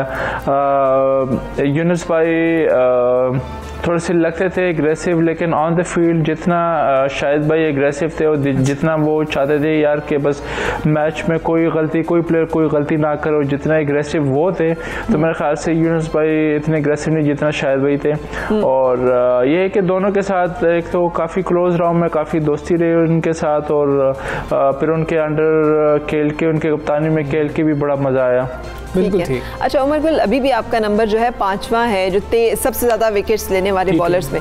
और ख्वाहिश थी आपकी कि इस फॉर्मेट में सेंचुरी जो है वो पूरी करें। तो आ, ये कोई जल्दी डिसीज़न लिया है कि मैंने जाना है और बस सारे फॉर्मेट से अब मैं रुखसत हो रहा हूँ? आ, नहीं सच तो ये कि बड़ा मुश्किल डिसीज़न था क्योंकि एक चीज़ आपका पेशेंट हो, आप आप आप उससे लव करते हो, आप उससे प्यार करते हो, फिर उसको पंद्रह बीस साल आप उसके साथ रिलेटेड रहते हो, आप वो करते हो, सुबह सवेरे आप उठते हो, गर्मी, सर्दी, आप नहीं देखते चाहे धूप हो छाओ जो भी हो, आप जाते हो, रोज़ प्रैक्टिस के लिए जाते हो, रोज़ ट्रेनिंग के लिए जाते हो तो सडनली जब आप उस चीज़ को आप छोड़ते हो तो बड़ा मुश्किल डिसीज़न होता है। लेकिन ये कि ये एक फैक्ट है, क्योंकि ऑनेस्टली मुझे आगे कुछ लाइक मुझे कुछ नज़र नहीं आ रहा था कि मैं पाकिस्तान के लिए कम बैक कर सकूँ या मैं पाकिस्तान के लिए दोबारा खेल सकूँ क्योंकि काफ़ी यंगस्टर हमारे पीछे लाइन में लगे हुए अलहमदिल्ला काफ़ी बॉलर्स हमारे आ रहे हैं और जो कि यंगस्टर को अगर आप, आप उनको रेगुलरली आप उनको चांसेस दोगे रेगुलर उनको खिलाओगे तो आप ऑब्वियसली वो आपके फ्यूचर आपका एसेट है फ्यूचर आपके सुपरस्टार है वो और वो आगे जाके पाकिस्तान के लिए सर्व कर सकते हैं।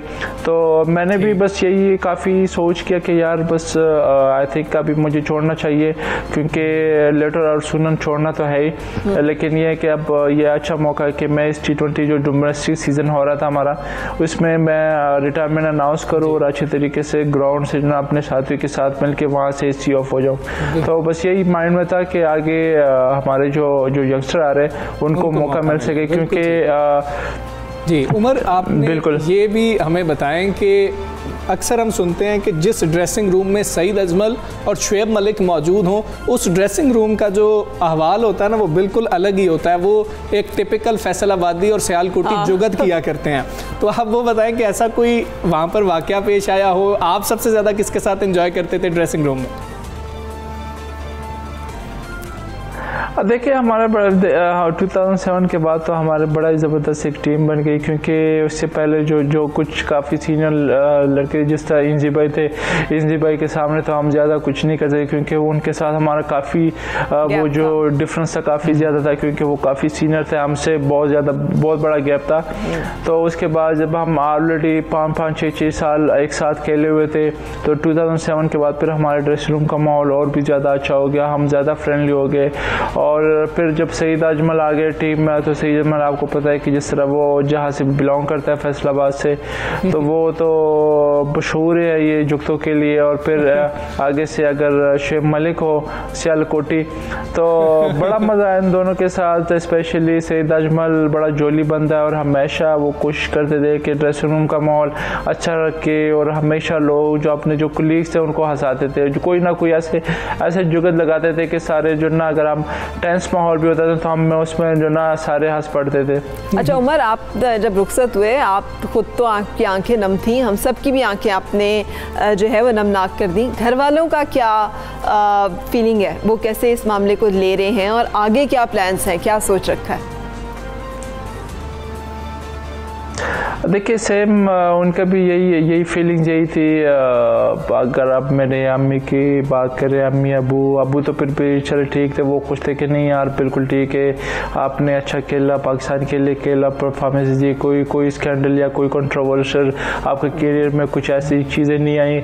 ऑब्वियसली वाइफ इमोशनल थी, लेकिन ये है कि मैं ख़ुद भी ट्राई कर रहा था कि ज़्यादा इमोशनल ना हो, लेकिन जिस तरह मैंने अर्ली कहा कि आप जब एक चीज़, बचपन से एक चीज़ को सोचते हो आपका एक एम होता है गोल होता है जो एक चीज़ से आप इतना प्यार करते हो। अगर एक बंदा भी ऑफ़िस में भी बैठा होता है पंद्रह बीस साल वो जब ऑफ़िस में भी काम करता है जब वो वहाँ से छोड़ के जाता है तो ऑब्वियसली वो इमोशनल हो जाता है। तो बड़ा इमोशनल टाइम था खुद को कंट्रोल करने की कोशिश की लेकिन कंट्रोल नहीं हो सका। आ, लेकिन ये आप इन फ्यूचर ये कि इनशाला बीइंग अ क्रिकेटर कोशिश रहेगी कि क्रिकेट के साथ रिलेटेड जो भी होगा क्रिकेट के लिए हेल्प करूँ क्रिकेट की प्रमोशन के लिए। और आई होप कि पीसीबी इन फ्यूचर अगर चाहे तो मेरे से as a fast bowler coaching काम ले सकते हैं एज ए मेंटोर और मैं ख़ुद भी चाहता हूँ कि ऑन द फ़ील्ड ग्राउंड से रिलेटेड कोई काम कर सकूँ क्योंकि मुझे काम करने का बड़ा शौक है। थ्रू आउट द कैरियर भी जब मेरे किसी कुलीग को मेरे किसी प्लेयर को ज़रूरत पड़ती थी तो मैं उनके साथ जाता था उनको थ्रो डाउन करता था उनको फील्डिंग कराता था। बॉलिंग का तो वैसे भी मुझे पता ही था और शौक था कि अपने यंगस्टर को सिखा सकूँ।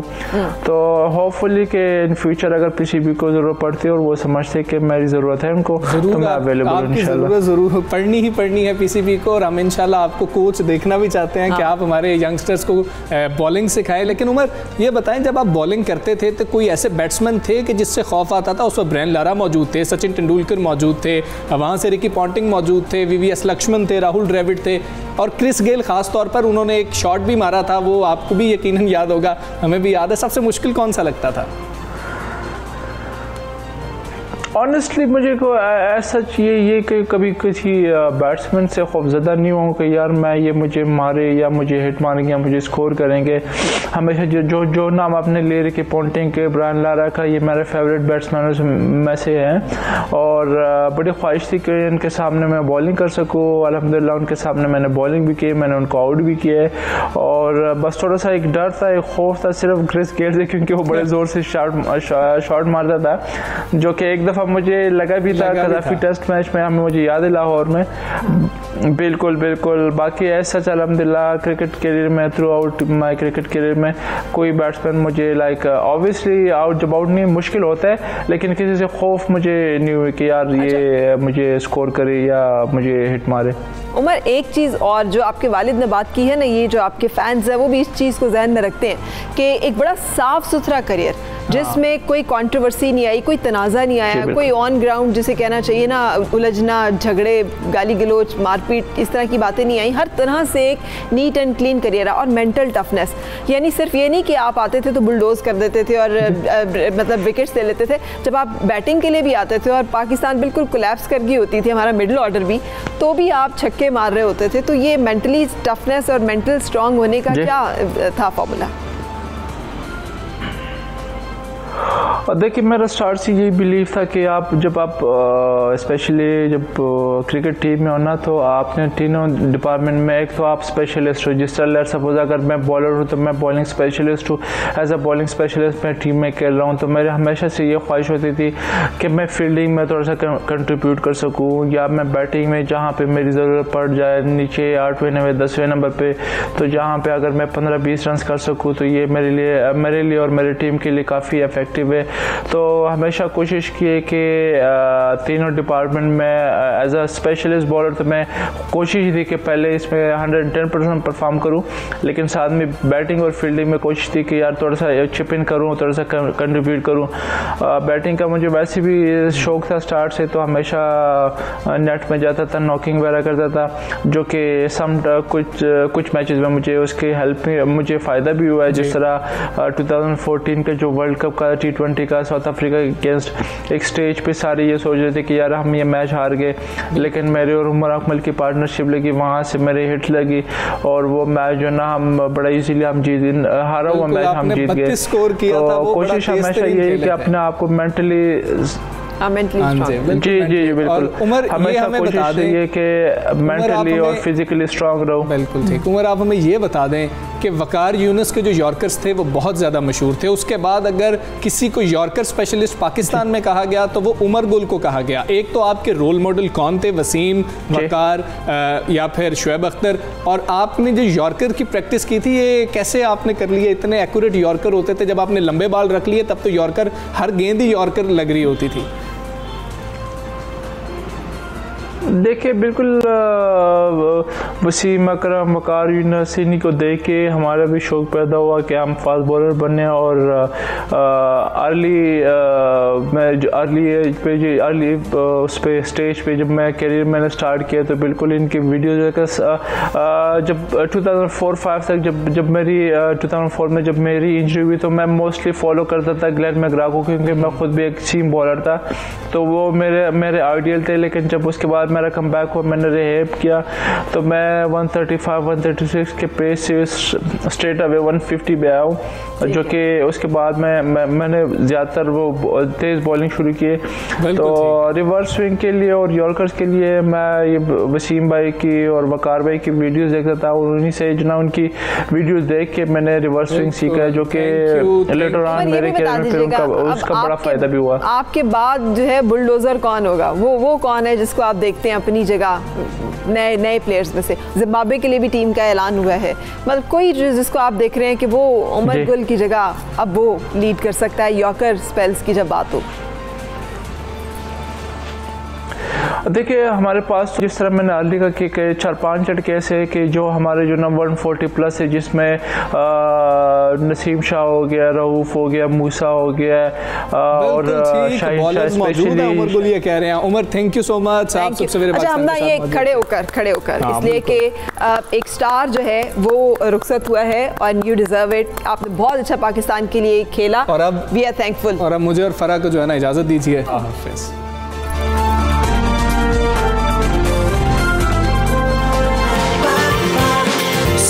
saberé por qué estás.